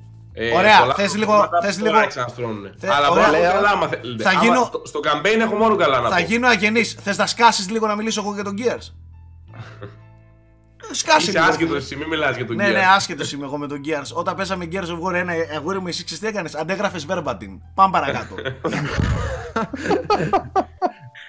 Ε, Ωραία, μ' αρέσει αυτό. Για να πάμε λίγο παραπάνω. Άκου εκεί που θα πει κακά λόγια για τον Gears 5. Έκατσαν σου έβγαλαν παιχνίδι που η Microsoft δεν έχει ξαναδεί στη, στη ζωή του Xbox One. Είπα, έχω και καλά και κακά. Θα τα λέμε όλα. Σαν Μην πακέτο. μιλάς ρε, μην μιλάς ρε, μην μιλάς. Πω. Μην μιλάς. Δεν Μην ξέρω, μιλάς. δεν Έτσι, δημοκρατικά δεν θα μιλάς ρε. Δεν θα μιλήσει για το multiplayer. Δεν δέχομαι να μιλήσει για το multiplayer στον Gears ρε. Εμένα με Για- ενδιαφέρει, εγώ θα παίξω Για- Gears multiplayer, πες μου. Και... ναι, τώρα βρήκες. πιστεύω εσύ, πιστεύω εσύ θα ζητήσεις στο αντίτυπο που θα πάρεις να διαγραφεί και από το μενού το multiplayer. Ε, να μην το δεν βλέπεις θα σου πω καν και κάτι. σε ενοχλεί.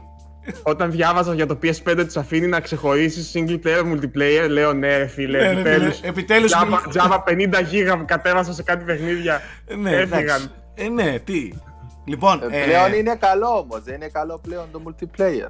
Ήταν λίγο Άρχισαν το να launch τους τρώνε, του, αλλά. άρχισαν να τους Ε, τρώνε. ναι, Απλά εντάξει. έχουν πολλά να φτιάξουν ακόμα.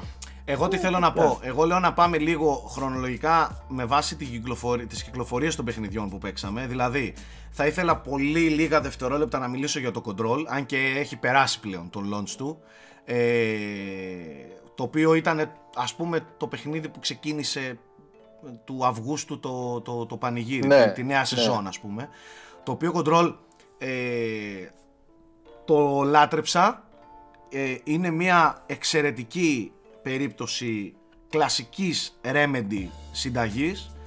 Ε, δεν είναι πιο μεγάλο, πιο γιγαντιαίο από τα, από τα προηγούμενα παιχνίδια της Remedy, αλλά δεν ξέρω, είναι, είναι μεγάλη λατρεία.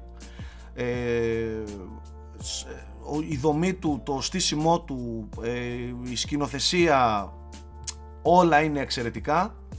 Θεωρώ ότι βάζει πολύ άνετα φέτος υποψηφιότητα για, όχι Game of the Year, για ένα από τα παιχνίδια που στο τέλος της χρονιάς μάλλον θα μπει σε αρκετές λίστες. Πεντάδες, δεκάδες. Και πεντάδες και δεκάδες. Ε, εγώ το προτείνω σε όσους θέλουν αυτό το μυστήριο, το παράξενο κτλ. Τεχνικά και gameplayακά είναι ένα αριστούργημα και το λέω με, με, με πλήρη συνείδηση αυτό το, των λεγόμενων μου. Είναι αριστούργημα να παίζεις control. Ε, δύσκολο στο εγκεφαλικά να το καταλάβεις και να το, να το κατανοήσεις πλήρως αλλά όσοι ξέρουν λίγο πάνω κάτω τη, τον, το Sam Lake και όλο εκεί το παρεάκι στη Remedy δεν το συζητάμε, είναι περιπτωσάρα ατελείωτη. Ε, ξεκίνησε με το δεξί για εμένα η νέα gaming σεζόν με το Control. Ε, υπάρχει και review άλλωστε, αναλυτικό, μπορείτε να πάτε να το διαβάσετε, έχω γράψει κείμενο για το unboxholics.com ε, μετά το μεγάλο παιχνίδι το οποίο έπαιξα πολύ λίγο όμως δεν το έχω τελειώσει, θα το τελειώσω όταν φτάσει η περίοδος η σωστή είναι το Astral Chain το οποίο έπαθα την πλάκα της ζωής μου με το πόσο παιχνιδάρα είναι Γιώργο. Πραγματικά Εντάξει, ναι. όμως. Το, το Astral Chain είναι παιχνιδάρα. Με έκοψαν τα reviews και το σταμάτησα που έσκασαν μετά. Αλλά ε, δεν το, σας λέω, δεν το τελείωσα. Έπαιξα μία ωρίτσα και έπαθα πλάκα. Δηλαδή αυτό που έχει γίνει στο Switch είναι φανταστικό. Φαίνεται ότι, ότι μιλάμε για περιπτωσάρα στο Switch. Και παρόλο που φοβόμουν το ότι μπορεί να ξεπεράσει την κόκκινη γραμμή που δέχομαι εγώ την τζαπανίλα Ξέρεις υπάρχει μια κόκκινη γραμμή για μένα Μέχρι ένα σημείο το, το δέχομαι μετά δεν, δεν είναι για εμένα Ναι, ναι, ξέρω, ξέρω, αισθητικά. ε, αισθητικά. Ε, είναι οριακά πίσω από την κόκκινη γραμμή, οπότε είμαι πολύ ok. Είμαι πάρα πολύ ok. Φανταστικό το Astral Chain. Ακόμη μια παιχνιδάρα για το Switch. Ε, next. Μετά είχαμε τον Gears. Το οποίο έπαιξε ο Θέμης, έκανε και review. Ε, Το Gears, παιδιά, είναι πάρα πάρα πάρα πολύ καλό παιχνίδι. Ωραία, αυτά είναι, αυτά θέλαμε να ακούσουμε από σένα. Λοιπόν, να σα μιλήσω εγώ για τον Gears τώρα. Έλα, πες ρε, άντε. Πες γιατί θα Θέμη. σκάσεις. Το Gears τα άσπασε το multiplayer, εμένα μου άρεσε πάρα πάρα πολύ. Σαν φαν των Gears ε, που τα λατρεύω ειλικρινά, με ικανοποίησε τρομερά το campaign του. Εξέλιξε τους χαρακτήρες, είχε τρομερά set pieces, είχε τρομερή ροή όλο το campaign, είχε αποκαλύψει το lore, το gameplay του το εξέλιξε. Για Ήτανε multiplayer πάρα, μιλάς πάρα πολύ τώρα. καλό. Είπες multiplayer. Τι, ξαναπες μου Σάκη. Είπες, είπες multiplayer. Για το single player μιλάω τώρα. Ε, Εντάξει, είπες δεν πειράζει, multiplayer, οκ, μπερδεύτηκε. ναι. Ε, και μου άρεσε και το όλο θέμα που πάει λίγο προς RPG με τον Jack, τον οποίο μπορείς να τον αναβαθμίσεις, ο οποίος φρεσκάρει πάρα πολύ ωραία το gameplay. Ε, μ' άρεσε και το τελευταίο το act, το όλο με μια ανατροπή που είχε gameplayακά και σεναριακά. Το μόνο, η μόνη ένσταση ως προς τον campaign είναι ότι τελειώνει πάλι με cliffhanger το παιχνίδι. Περιμένει πάλι τώρα να δει τι θα γίνει. Αλλά κατά τα άλλα είμαι τρομερά ικανοποιημένος. Ε, πραγματικά έχει την αίσθηση του ταξιδιού, το ότι δηλαδή ξεκινάς και βιώνεις μια τρομερή περιπέτεια και πολύ πολύ μεγάλη ποικιλία στα, στα σενάρια μάχης, δηλαδή συνεχώς κάτι διαφορετικό έβρισκες. Πολύ μ' άρεσε, πάρα πολύ. Και το open world του δεν με ενόχλησε καθόλου. Ήταν ίσα ίσα εκεί πέρα μετά τις μεγάλες μάχες και τα μεγάλα set pieces μια ανάσα. Ήταν πολύ καλό. Τώρα ως προς το multiplayer θα μου δώσετε ένα λεπτάκι να πω ίσα ίσα για τους δύο που τους Βαρέθηκα, βαρέθηκα, βαρέθηκα. Γιώργο, για το, Θέμη. single, για το single θα μιλήσουμε μετά μαζί. Άστο. Και δεν ξέρω τι θα Αν ρωτήσω. και υπερπλήρες το multiplayer, πολλά τεχνικά προβλήματα. Δηλαδή στην Ευρώπη κάτι αστρονομικά ping. Το reward σύστημα λίγο θέλει δουλειά γιατί δεν έχει πράγματα να Βλέ- ξεκλειδώσει. Τη λέξη ουσιαστικά. apologize, τη λέξη apologize στο Twitter της The Coalition να ξέρεις ότι ε, πετάγεται κάθε μέρα. Ναι, έπρεπε να, το, να είναι πιο όμαλο το launch. Έπρεπε να τους περιμένουν πιο πολύ τους πολλούς παίκτες. Εν πάση περιπτώσει, είναι αυτό που είναι τώρα. Είναι υπερπλούσιο το πακέτο, αλλά κρίμα να ταλαιπωρείται από τόσα τεχνικά προβλήματα ακόμα και σήμερα που έχει περάσει σχεδόν ένας μήνας. Ωραία, βαρέθηκα. Ε, τελείωσε για το multiplayer. Ναι, πες τώρα και Ωραία. εσύ για το single player. Ωραία, επειδή θέλω να καλύψω τον Γιώργο, θα ξεκινήσω με τα βασικά. Εγώ το Gears 4 το θεώρησα ένα πάρα πολύ καλό. Καταρχάς λατρεύω τα Gears. Πάρα πολύ από την εποχή του 1 με άρρωστο hype, άρρωστη μανία. Ο Nike το έζησε μαζί μου αυτό. Έτσι, το ζήσαμε αυτό το πράγμα. Το, τι σημαίνει Gears of War με Cliffy B, με, με, με την Epic κτλ. κτλ. Εντάξει, να μην τα ξαναλέμε. Ε, για εμένα η απουσία του Cliffy B στο 4 ήταν αισθητή, αν και ήταν πολύ αξιόλογο, πολύ τίμιο σαν παιχνίδι. Φαινόταν όμως ότι ήταν ένα, ένα υποκατάστατο του Gears of War, καλό μεν, αλλά υποκατάστατο της συνταγής του Gears ε, of War. Το 5 το τελείωσα, ξεκίνησα με πολύ χαμηλωμένο τον πύχη, αλήθεια σας το λέω αυτό, με πάρα πολύ χαμηλωμένο τον πύχη και, και μπορώ να πω με ασφάλεια, Γιώργο, ότι είναι το καλύτερο exclusive του Xbox One. Τέλος. Δεν έχω κάτι άλλο να σας πω. Είναι το καλύτερο παιχνίδι που έπαιξα, αποκλειστικά εννοώ, στο Xbox One.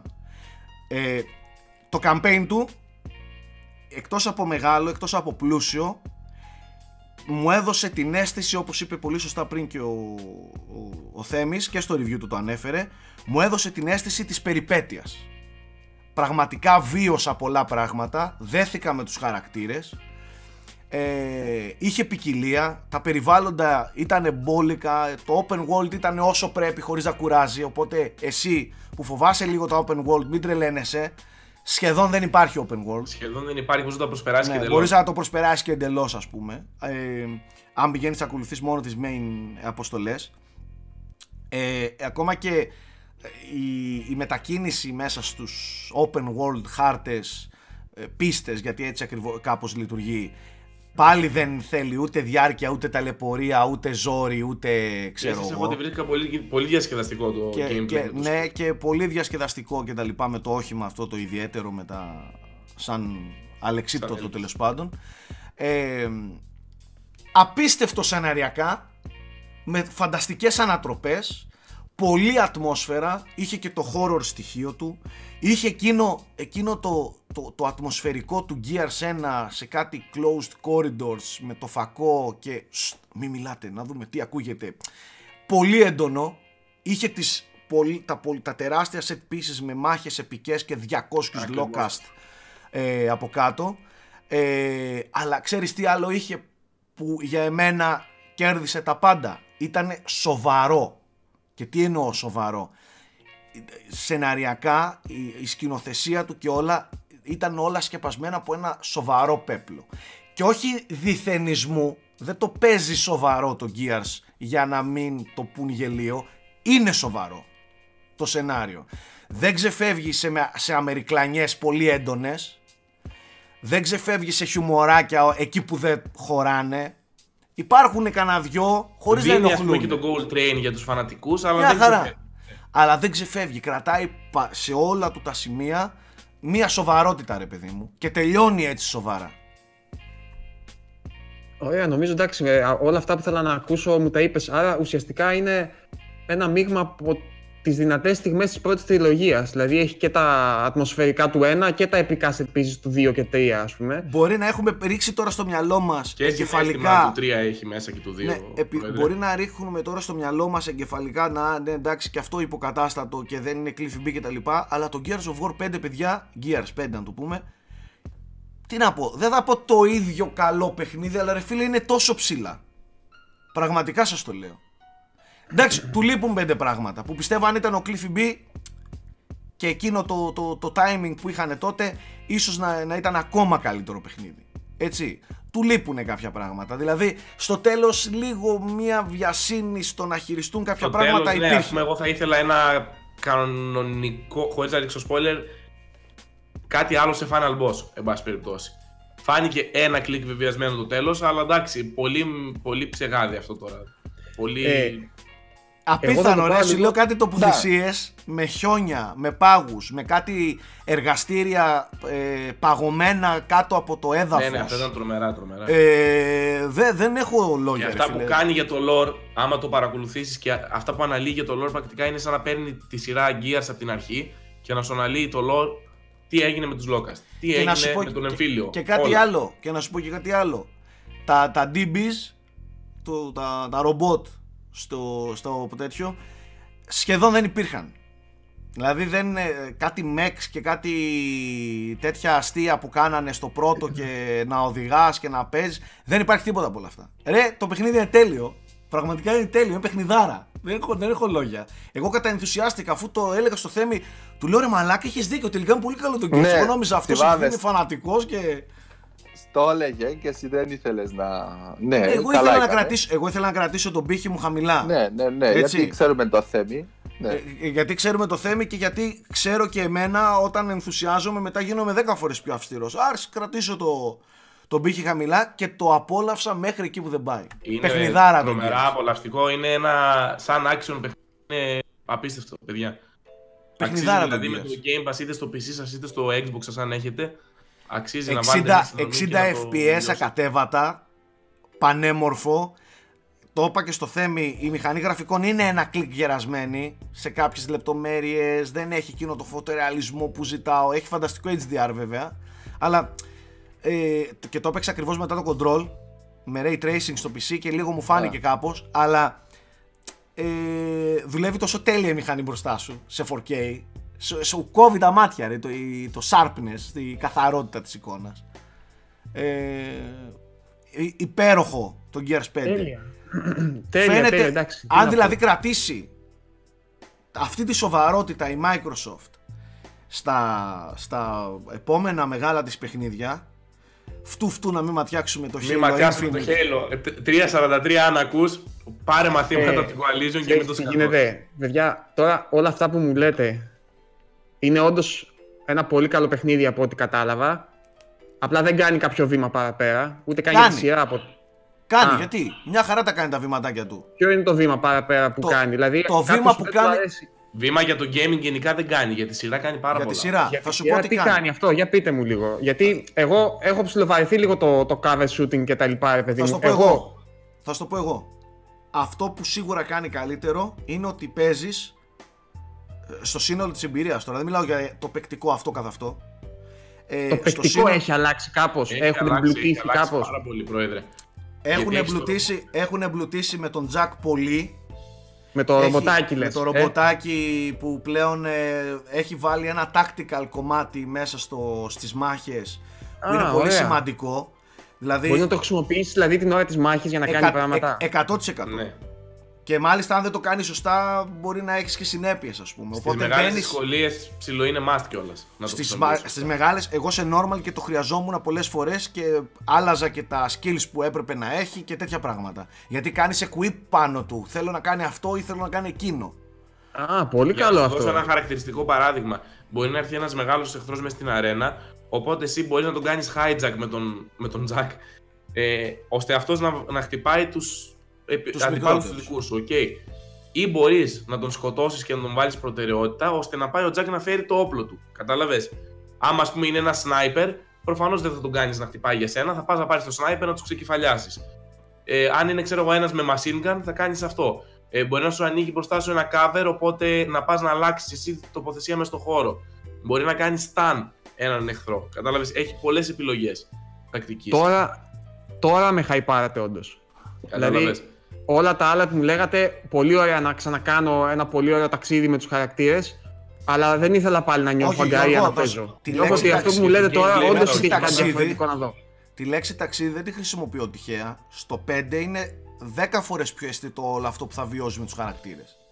Και για εμένα αυτό είναι το σημείο που περισσότερο εκτίμησα γιατί ε, με αυτά και με αυτά πέρασα 20 ώρες σε ένα campaign το οποίο πραγματικά έκανα πολλά πράγματα με τους δεν χαρακτήρες. βαριέσαι στιγμή, Βίωσα έτσι, δεν πολλά και βαριέσαι δεν βαριέσαι δευτερόλεπτο ρε φίλε. Τέλεια. Καταλαβες. Τέλεια, τέλεια. Μπράβο, άρα η Coalition λοιπόν στο ύψος της. Στο ύψος των περιστάσεων και με το παραπάνω ο Φέργισον, ο, ο κύριος, ο, ο Ροντ. Εάν Και- να βοηθήσουν λίγο και 3.43 τώρα. Παιδιά, η Coalition, να σημειώσω και κάτι άλλο, ότι είναι πάρα πολύ αποδοτική. Γιατί με περίπου κόπηκες, δια- είναι, είναι; Είναι Είναι πάρα πάρα πολύ πολύ. αποδοτική σαν στούντιο με περίπου 250 άτομα, βγάζουν χρόνια έτσι. Είναι εργάτες τα παλικάρια. Καλά, εντάξει, και έχουν και το Ferguson ο οποίος δεν είναι. Είναι σοβαρός τύπος, δεν είναι ό,τι να είναι. Δεν είναι παρλαπίπας. Γιατί έχουν περάσει Δεν είναι κατά πάρα καιρούς- πίπα 343 για, Industries. γιατί έχουν περάσει και περνάνε παρλαπίπες από αυτά τα μεγάλα, από τα μεγάλα στρατόπεδα πάρα πολύ. Αυτός δεν είναι παρλαπίπας, είναι σοβαρός ο άνθρωπος. Το γνωρίσαμε και στην Gamescom. Σοβαρότατος. Και χαμηλών Μακάρι- τόνων, ε. Χαμηλών ναι. τόνων. Όχι θα, θα σας διαλύσουμε όλους και θα, θα σας καταστρέψουμε. Όχι Kojima. Όχι Kojima. Σας χαμάω, ναι, Και ναι. το- Πάμε ρε κοτζίμα ρε. Εν τω μεταξύ, δεν σας κάνει εντύπωση πόσο χαλαρά έχει, πόσο χαλαρά έχει γίνει gold το παιχνίδι. Δηλαδή έχει τελειώσει εδώ και περίπου τώρα Ναι. 15 μέρες.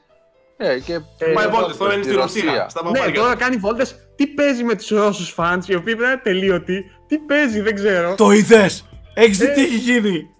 Ναι, ναι, δεν ξέρω τι γίνεται. Λοιπόν, άκου λίγο να σου πω. Ε, ε, Κάτι που εσύ δεν ξέρεις επειδή δεν έχεις Instagram. Νομίζω το έχουμε ξαναπεί. Εάν δεις Κάτι εδώ, και, θυμάμαι, ναι, ναι. εδώ και χρόνια τις φωτογραφίες Στα- του στα post από Kojima κάτω. στα, στα post από κάτω, βλέπεις 200 σχόλια Ρώσων και δύο Αγγλικά. 200 Ρώσοι, Ε, Δεν υπάρχει, δεν δύο υπάρχει. Είναι αγγλικά. είναι ατελείωτη. 200 Ρώσοι, δύο Αγγλικά. Τώρα πήγες σε ένα Comic Con της Ρωσίας για να παρουσιάσεις μαζί με τον Μίκελσεν και ήταν σαν να βλέπει συναυλία μετάλλικα. Μιλάμε και, του, λέ- και όλοι γράφανε στις, στις εφημερίδες ε, ο Ιάπωνας superstar. Ο Ε, rockstar, το βλέπω συγγνώμη. στο Twitter εγώ, Ο ε. Ιάπωνας rockstar. Και λέγανε ποιος είναι; Ποιος είναι αυτός; Ποιος είναι αυτός ο κοντός με τα γυαλιά που κάνει όλο αυτό το χάος; Στη Ρωσία, πρόσεξε τώρα έτσι. Μιλάμε για τη Τα Ρωσία. παιχνίδια που ξέρω εγώ πάντα ήταν ψιλοκακή η Ρώσοι. Ναι, Ρώσοι. Ρε, δεν ξέρω, ίσως και σε όλα τα παιχνίδια οι Ρώσοι είναι κακοί, ας πούμε. Είναι Ναι, όλοι. Στα Metal Gear έτσι είναι Nike. I'm going to kill Ε, you, ναι, everybody. Ocelot. Ε.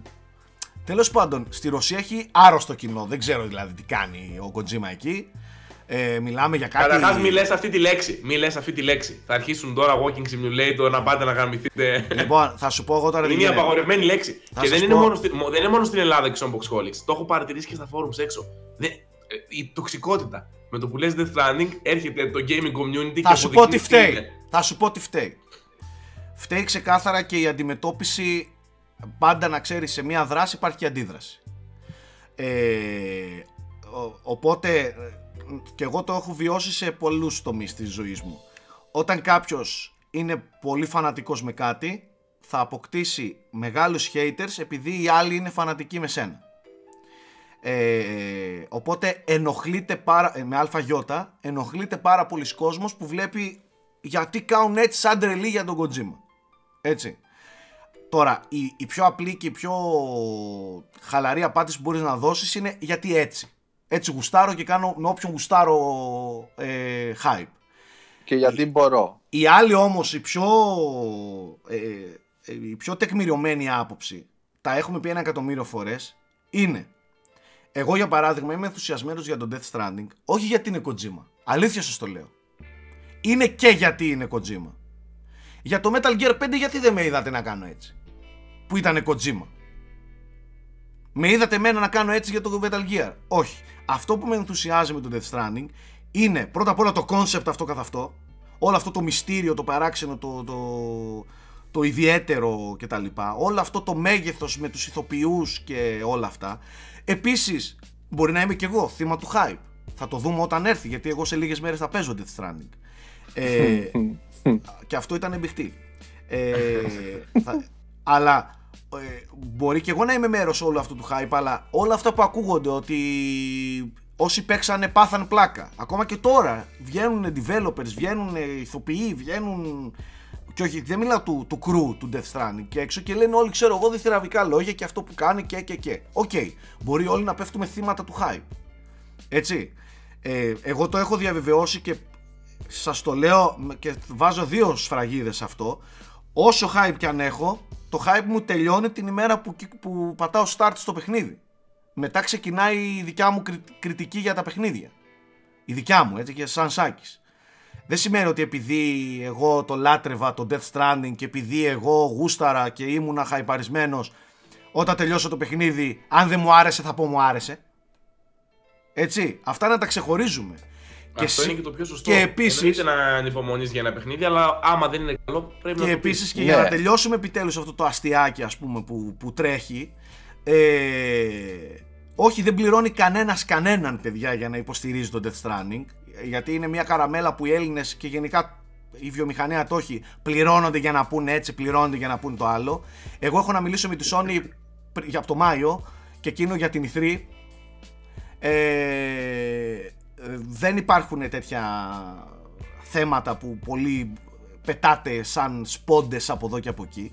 Και επίσης να πω ότι αυτή τη στιγμή σας μιλάνε, δεν σας μιλάνε δημοσιογράφοι, σας μιλάνε gamers οι οποίοι λατρεύουν με πάθος το, τα video games από μωρά παιδιά. Εγώ όλο, και, και ένα μεγάλο μέρος όλη αυτής εδώ της βιομηχανίας είναι να το ζεις. Εμείς το ζούμε. Όπως θα ζήσουμε ένα Death Stranding, όπως θα ζήσουμε ένα The Last of Us, όπως θα ζήσουμε το Halo, όλα όπως θα ζήσουμε το επόμενο Zelda, έτσι. Παιδιά, τα ζούμε μιας και, πριν. Το αν σχετικό υπερβάλλεις, hype. Περίμενε λίγο, ε, Θέμη, θέλω να τελειώσω γιατί Ναι, ειλικρινά άστο, είναι, ναι. είναι κουραστικό όλο αυτό που συμβαίνει με τον Death Stranding από κάτω. Εάν Δεν, εμείς... πάντως να ξέρεις δεν είναι δικό μας πρόβλημα. Γιατί το βλέπω και έξω. Όχι, όπου ρε, αναφέρει τη είναι- λέξη. είναι- είναι σκα- είναι γενικό, λες και ναι. Το σκάει ξέρω, βόμβα. το ξέρω, το ξέρω. Να. Το ξέρω. Ε, εάν εμείς το ζούμε από πριν ένα παιχνίδι ε, και γουστάρουμε και είμαστε και λίγο ε, υπερενθουσιασμένοι καμιά φορά ε, δεν θα αλλάξει κάτι στην κριτική μας εν τέλει για το παιχνίδι. Ε, το... Και μην ξεχνάτε σε τελική ανάλυση ότι μιλάμε για απόψεις. Από ένα σημείο και μετά ε, ε, τελικά έχουμε να κάνουμε με άποψη. Ε, τώρα, το, το χάος όλο αυτό που συμβαίνει με το Death Stranding είναι γιατί εγώ το καταλαβαίνω του τύπου πώς κάνετε έτσι ρε και σιγά ρε και τα λοιπά. Ξέρω ότι 9 στους 10 από αυτούς που θα κράξουν από κάτω δεν ξέρουν τι σημαίνει Kojima. Δεκτών. Έτσι άκουσαν, έτσι λένε. Είδανε τον πιο πάνω να κράζει. Ναι, ρε μαλάκα, γιατί μας πάσανε έτσι τα αρχίδια με τον Death Stranding αυτή. Ναι, ναι, όντως, τι σιγά τον Kojima. Δεν ξέρει τον Kojima. Δεν έχει παίξει ποτέ Kojima, δεν ξέρει ποιος είναι. Δεν ξέρει καν ενδεχομένως το τι έρχεται για τον Death Stranding, τι παιχνίδι είναι, τι, τι θα έχει, τι, με τι καταπιάνεται. Ε, απλά έτσι το γράφει. Οι 9 στους 10 είναι έτσι. Προφανώς θα υπάρχουν και κάποιοι οι οποίοι δεν γουστάρουν τον Kojima και δεν γουστάρουν αυτούς που γουστάρουν τον Kojima. Καλά κάνουν δικαίωμά τους. Όπως και δικαίωμά μου είναι, ε, σαν gamer ο οποίος ζει και αναπνέει video games καθημερινά και όχι για τη δουλειά μου, όχι για το frame rate, όχι για τους unboxholics, εγώ παίζω video games έτσι. από γεννησιμιού μου. αγαπάω, αγαπάω video games έτσι. Δηλαδή και αύριο το πρωί να μην υπάρχει αυτή η εκπομπή και αύριο το πρωί να μην υπάρχουν οι unboxholics, εγώ πάλι θα αγοράσω το παιχνίδι μου για να παίξω. Εμείς τα παίζουμε. ναι, εμείς τα παίζουμε. Οπότε εμείς απλά είμαστε, θα το θέσω ομά, καυλωμένοι με τα video games. Ξαναλέω όμως, όταν έχει έρθει η ώρα της κριτικής, που εκεί παίρνεις στο λαιμό σου, αν θέλετε, ανθρώπους που σε διαβάζουν και σε εμπιστεύονται, εκεί φεύγει ο gamer Σάκης, ο ρομαντικός με τον Kojima και εκεί όταν χρειαστεί θα πω αυτό που πρέπει. Τώρα, το πόσο με εμπιστεύεσαι, εμένα ή τον Γιώργο ή τον Nike ή τον Θέμη ή τον οποιονδήποτε, έχει να κάνει με εσένα. Ε, και είναι απολύτως, ναι, και είναι απολύτως σεβαστό. Αλλά ε, φτάνει λίγο με όλο αυτό το, το τέτοιο. Αφήστε τον κόσμο να το χαρεί και να το απολαύσει. Δεν είναι κακό. Άλλωστε, ειδικά ο Kojima ειδικά ο Kojima, τα παιχνίδια του είναι, χωρίζονται σε δύο φάσεις. Η, τα πριν την κυκλοφορία και μετά την κυκλοφορία. Δύο είναι τα, οι φάσεις του, του Kojima. Ενός Kojima game. Ε, και στην τελική δεν βλέπω καθόλου παράξενο το γεγονός δεν το θεωρώ καθόλου παράξενο το γεγονός ότι κάποιοι ενθουσιάζονται και περιμένουν με αγωνία ένα παιχνίδι το οποίο παίζουν αστέρες του Hollywood με ένα concept το οποίο δεν έχουμε ξαναδεί, με ένα, σε ένα genre το οποίο υποτίθεται, δεν ξέρουμε αν ισχύει, μπορεί να λέει μαλακίες ο Ιάπωνας, με ένα genre το οποίο είναι καινούριο, με ένα είδος παιχνιδιού που για, κατά, κατά την άποψή του ε, είναι καινούριο και ότι θα φέρει τα πάνω κάτω στη βιομηχανία. Θα αλλάξει, όχι θα αλλάξει τα video games, τέλος πάντων θα φέρει κάτι καινούριο. Ε, εντάξει, δεν το θεωρώ και τραγικό να, να, να ενθουσιάζεσαι να δεις τι σκατά είναι αυτό το Death Stranding να και να λες πάμε. Και να σας πω και κάτι. Απλά τα πράγματα. Αυτό που βλέπω από το Death Stranding με τα trailers, το gameplay του κτλ. Εμένα μου αρέσει πάρα πολύ. Δεν μπορεί να αλλάξει αυτό. Ναι. Δεν είναι επειδή λέει Kojima μου αρέσει. Μου αρέσει το γαμημένο και ας το φτιάχνει η θεία Ευαγγελίτσα απέναντι στο τέτοιο. Δεν με ενδιαφέρει ποιος το φτιάχνει αυτό που βλέπω με ξετρελαίνει. Τι να κάνουμε; Ούτε γιατί είναι Sony και PlayStation, ούτε γιατί είναι exclusive και πώς λέει και ο Αλέκος, γαμώ τα σκαμπό μου και τα exclusive μου και όλα μου. Δεν με ενδιαφέρει ποιος το φτιάχνει, ρε παιδιά. Με ενδιαφέρει το παιχνίδι. Ο... Και εντάξει, προφανώς γνωρίζοντας ότι το φτιάχνει αυτός, εννοείται ότι αποκτάει ένα, μία, μία δικλίδα ασφαλείας παραπάνω. Εννοείται ότι είσαι ενθουσιασμένος για το Irishman επειδή παίζει ο Σκορτσέζε επειδή το σκηνοθετεί ο Σκορτσέζε. Έτσι, άσχετα το ότι παίζει ο Αλπατσίνο και ο Ντενίρο και όλο αυτό το cast, ε, έχει να κάνει και το ότι από πίσω κρύβεται ένας Σκορτσέζε. Ποιος είναι ο Σκορτσέζε, θα μου πεις; Αυτός που δεν γουστάρει τις ε, σε ε. Ένα, ένα παράπονο που έχω εγώ είναι το εξής. Το Death Stranding είναι ένα τελευταίο σχόλιο, έτσι το υπόσχομαι. Είναι ένα παιχνίδι το οποίο είναι στραμμένα τα μάτια του mainstream κοινού. Επειδή παίζουν ηθοποιοί, επειδή παίζουν χίλιοι το ξέρουν σκηνοθέτες, το ξέρουν άπειρα άτομα για ποιο λόγο ως gaming κοινότητα να δείχνουμε αυτή την τοξική εικόνα σε όλο αυτό το mainstream κοινό; Το ότι είμαστε αυτοί που συνέχεια κράζουμε και θάβουμε και βριζόμαστε μεταξύ μας, κάνουμε και ράνουμε. Δηλαδή λίγο ψυχραιμία. Αφήστε να βγει το παιχνίδι πρώτα και μετά, άμα είναι, άμα είναι για τον Μπούτσο, να το θάψουμε και, και εμείς μαζί. Και ξέρεις τι. Δηλαδή, ε... μην δείχνουμε αυτό το, το άσχημο το πρόσωπο σε όλους, σαν gamers. τόση Εντάξει, τοξικότητα. Είναι walking simulator. Εγώ σου λέω. Μην το παίζεις ρε μαλάκα. Δεν σου αρέσουν τα walking simulators. Μην το παίζεις. ε, πώς θα το πω ρε μαλάκες αλλιώς; Αφού δεν σου αρέσουν τα walking simulator, αν είναι, θα σου το πω εγώ αν είναι, ότι παίζεις πολλές ώρες περπατώντας, θα σου το πω εγώ, μην αγχώνεσαι. Μην βιαστείς και το αγοράσεις και καείς, εσύ που καίγεσαι, γιατί εσύ αγχώνεσαι μην δώσεις 69 τζάμπα για σου walking simulator. Α το περίμενε να βγουν τα reviews, θα μάθεις αν είναι walking simulator. Άμα είναι Δεν walking έχει- simulator και δεν σου Δεν έχεις αρέσουν. καταλάβει, Ναι, δεν τι- έχεις καταλάβει ότι η αγωνία όλων στην εποχή μας είναι τα γούστα τους να συμβαδίζουν με τα γούστα γενικότερα, ας πούμε, να έχουν μια αποδοχή. Γιατί αλλιώς δεν μπορείς να τα... δεν τα αποδέχεσαι το ίδιο στον εαυτό σου. Άμα τα γούστα δεν έχουν αποδοχή έξω, δεν βρεις αυτή την άποψη που σου ταιριάζει εκεί πέρα, Δεν υφησυχάζει. Είσαι Ξέρεις τι είναι; στοιχισμένος, ναι. Είναι, είναι Είσαι η, στοιχισμένος. η, η επιβεβαίωση προϋπάρχουσας άποψης. Ναι, ναι, ναι, δεν δεν- δεν ξέρω. Τι να πω, παιδιά. Δηλαδή θέλουν να επιβεβαιωθούν ότι είναι walking simulator. Αν δεν είναι, θα γαμηθείτε όλοι. Ε, ε, ναι. Φαντάσου να μην είναι όμως. Α, εγώ θα σου πω το εξής. Εγώ έστω ότι είναι walking simulator. Εγώ αν είναι walking simulator και ότι ο παίκτης τρώει πολύ χρόνο μοναχικά να παίζει για ώρες και τα λοιπά, θα το πούμε. Εννοείται θα το πω. Βέβαια θα μου πεις, το Breath of the Wild είναι walking simulator; Γιώργο Πρίτσκα. Όχι.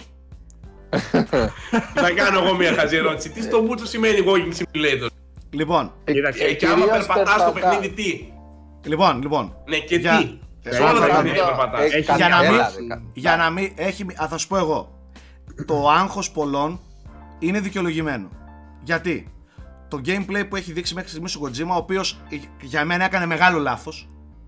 Έκανε πολύ μεγάλο λάθος που έδειξε αυτό Που το 50 έδω- λεπτό ναι, gameplay. που- Που ενέδωσε. Ναι, ε, έκανε πάρα πολύ μεγάλο λάθος. Ε, φόβησε πάρα πολλούς.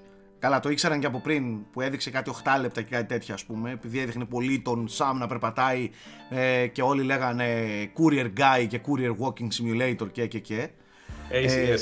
Αυτό πολλούς τους τρόμαξε. Δεκτών. Γιατί σου λέει ρε φίλε, εντάξει, περιμένουμε, περιμένουμε ένα παιχνίδι σαν τρελή, περιμένουμε να δούμε και λίγο παιχνίδι, λίγο δράση, λίγο, λίγο video game. Τι να κάνουμε όλη την ώρα περπατάμε με το Sam Bridges από εδώ και από εκεί και να κουβαλάμε θέματα. Το φοβούνται πολύ αυτοί. Δεκτή η ανησυχία τους. Έτσι. Αλλά ως ανησυχία είναι δεκτή. Ως επιβεβαιωμένη άποψη ότι καλά είστε μαλάκες και γουστάρετε ένα walking simulator δεν στέκει. Κάτσε να κυκλοφορήσει το παιχνίδι, να δούμε τι σκατά θα είναι, πόσες ώρες είναι, τι σημαίνει μεταφέρω δέματα στο Death Stranding και τι συναντάς ενδιάμεσα και τι πρέπει να κάνεις ενδιάμεσα και και και και και και τότε θα το συζητήσουμε. Για την ώρα θα μου πεις ούτε εσύ έχεις δικαίωμα να λες. Για την ώρα όμως ούτε εσύ έχεις δικαίωμα να λες Walking Simulator, ένα παιχνίδι που δεν έχεις παίξει. Και στην τελική να καθορίσουμε και τι σημαίνει Walking Simulator. Walking Simulator σημαίνει ότι απλά περπατάω... Το DRS τερετσάκι και αυτά Απλά, τα. Ναι, περπατάω, DRS. απλά περπατάω και δεν κάνω τίποτα. Εντάξει, είναι ας πούμε χαρακτηρισμός, αρνητικός χαρακτηρισμός για παιχνίδια που Άρα μοιάζουν και, αυ- έτσι. Και αυτό που ήθελα, τείνουν αυτό έτσι. ήθελα να πω εγώ. Γιατί να είναι αρνητικός χαρακτήρα. Είναι Δεν είναι, walking ναι, δεν simulator. Για ποιο Εντάξει, λόγο να είναι ε, Έχει αρνητικό αυτός ο όρος λίγο υποτιμητικά, Θέμη. Ναι, Έχει ε, δοθεί γιατί- λίγο υποτιμητικά, αλλά ας πούμε με, την, ε, με τον ορισμό ας πούμε, που δίνουμε και το Journey μπορεί να θεωρηθεί walking simulator, αλλά συγγνώμη ότι το Journey είναι από τα καλύτερα παιχνίδια ποτέ. ε, Οπότε Ξέρω πολύ. Για ποιο λόγο να είναι Ε, αρνητικός χαρακτηρισμός. αυτό θέλω να σου πω. Δεν έχει να κάνει ούτε με το Είναι- πόσο. Αν και εγώ από, ό,τι- δεν έχω δει αυτά τα 50 λεπτά, τα απέφυγα. Δεν νομίζω ότι το Death Stranding δεν έχει μηχανισμούς, γιατί το walking simulator δεν έχει μηχανισμούς πέρα από το περπάτημα και Εγώ κάποια σου λέω εξερεύνηση και- κτλ. α, Και pure walking simulators, δηλαδή όπως το Everybody Go. ναι. Μια χαρά πράγματα έχουν να προσφέρουν. Άμα ανοίγεις τα μάτια σου και Ε, προσέχεις. ναι, αλλά για ποιους; Ναι, Προ- από- ε, είναι για προφανώς- συγκεκριμένο κοινό μετά. Ναι, προφανώς αυτοί που, που κράζουν ή που Εγώ δεν, δεν εκφέρουν το βλέπω τέτοια αρνητικά άποψη. ότι δεν έχει μηχανισμούς ένα παιχνίδι. Ναι, το, είναι ε, πώς, όπως λέμε, Γνωρίζει άλλα όπως, πράγματα. Είναι όπως κάποιοι χρησιμοποιούν υποτιμητικά για κάποια άλλα παιχνίδια που θεωρούνται κενά ως προς τον gameplay, ότι είναι interactive dramas όπως αυτά του Cage, ξέρεις, που Μμμ. δεν παίζεις τόσο πολύ. Έτσι και αυτό, επειδή μόνο περπατάς, ε, το χρησιμοποιάνε ότι τάχα είναι φτωχός στο gameplay και δεν θα, δεν θα ελκύσει τόσο πολύ, δεν θα έχει τόσο action και ξέρω εγώ. Αυτό ας το Αυτό θέλω να πω συζητήσουμε, εγώ ας είναι το ότι- συζητήσουμε όταν τελειώσουνε. Ναι, απλά δεν είναι Ναι, τελείως το λέμε, θέμα της ποιότητας λέμε τι αυτό. θεωρούμε. Δεν, δεν ξέρουμε πώς Δεν θα πρέπει είναι. αυτό να καθορίζει τι, να, να το βλέπουμε ως μέτρο για την ποιότητα. Άλλο Όχι, ότι τα δεν γούστα είναι. μου είναι ότι εγώ μπορεί να μην Ναι. γουστάρω τα παιχνίδια Cage και αυτά τα οποία είναι. σε ακριβώς, αυτό το στυλ. ναι. Δεν, Nike. τα παίζω, δεν τα παίζω. Δεν πάνε Nike. να είναι καλά. Ακριβώ. παιχνίδια. Νάικ, να σε ρωτήσω κάτι. Εσύ που έπαιξες περισσότερο από όλους Metal Gear και, και δει Metal Gear 5. Το οποίο είχε Ναι. ένα τεράστιο open world. Έτσι δεν είναι; Ναι. Ε, ναι. Ωραία. Είναι Walking Simulator το MGS. Το MGS 5. Ε, αν το δεις ε, ξεκάθαρα, δηλαδή πόση ώρα περπατάς ή έρχεσαι ή κρύβεσαι, ναι, είναι, είναι stealth, ναι, είναι, είναι walking simulator. Έχει μηχανισμούς. Είναι γεμάτο μηχανισμούς. Έχει Κάτσε, παιδιά, gameplay. όχι, μην τρελαθούμε τώρα. Δεν είναι walking simulator το, το Metal Gear. Το να έχει ένα, ε, το παιχνίδι Ναι. ένα μηχανισμό περπατήματος λέει- δεν το λέει- κάνει walking simulator. Ο Νάικ λέει ρε Κατα- παιδί μου. Εγώ- Εγώ το λέω με βάση το, τις ώρες που έχω στο, στο, στο Metal Gear 5 και με βάση το τι είδα από τα trailers που ήδη ξέρω τι θα περιέχει μέσα το παιχνίδι, τον Death Stranding. Οπότε κατάλαβες με, ή, αν θες να απομονώσεις κάτι ή αν θες να δεις, αν σου δείξουν στοχευμένα ένα trailer που ξέρουμε τον Kojima ότι στοχευμένα μπορεί να σου δείξει οτιδήποτε άκυρο. Δηλαδή δεν θέλει να αποκαλύψει ούτε σενάριο, ούτε πλοκή, ούτε, ούτε οτιδήποτε. Θυμάστε τι, τι βλέπαμε για το 5. Βλέπαμε ότι να είναι φάλαινες Moby Dick, πράσινα άλογα και δεν συμμαζεύεται. Και στο τέλος τι παίξαμε. Δηλαδή, οπότε και αυτό. Και α, ε, οι, ανε, οι ανεκπαίδευτοι, όχι οι ανεκπαίδευτοι, α- αυτοί που δεν έχουν, που δεν καλά κάνουν και δεν απλά δεν κατέχουν από κοτσίμα, ίσως λόγω της ηλικίας τους, των αιωρών της ηλικίας τους, ή επειδή προτιμάνε άλλα genres, αλλά επειδή γίνεται ο Σαματάς με το, με το Death Stranding, γυρνάνε να δούνε τι παίζει εκεί και δεν ξέρουν από ε, Kojima, εύκολα μπορεί να παρεξηγηθεί ο Kojima και τα, το τι βγάζει έξω, το τι αποκαλύπτει για το παιχνίδι. Δεν τους αδικό, αλλά απλά προτρέχουν.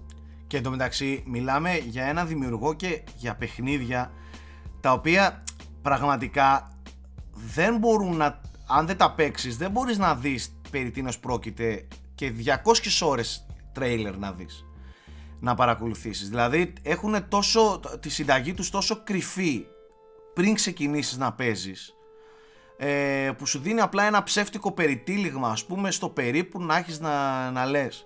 Ε, κανένα τρέιλερ δεν μπόρεσε να, να, να δείξει το, το Metal Gear 5 κανένα. Και κανένα Metal Gear δεν μπόρεσαν να, να, αποκαλ- να αποκαλύψουν. Να, να δείξουν τι, τι είναι ρε παιδί μου σαν παιχνίδια ε, και μιλάμε για ένα δημιουργό ο οποίος ζει και αναπνέει με, με, με teasers και με κρυφά πράγματα μέσα στα παιχνίδια του. Ε, αφήστε αφήστε να κυκλοφορήσει το παιχνίδι. Ε, προτείνω εσείς που έχετε αμφιβολίες να μην το αγοράσετε από πριν να ακυρώσετε την προπαραγγελία σας άμα θέλετε.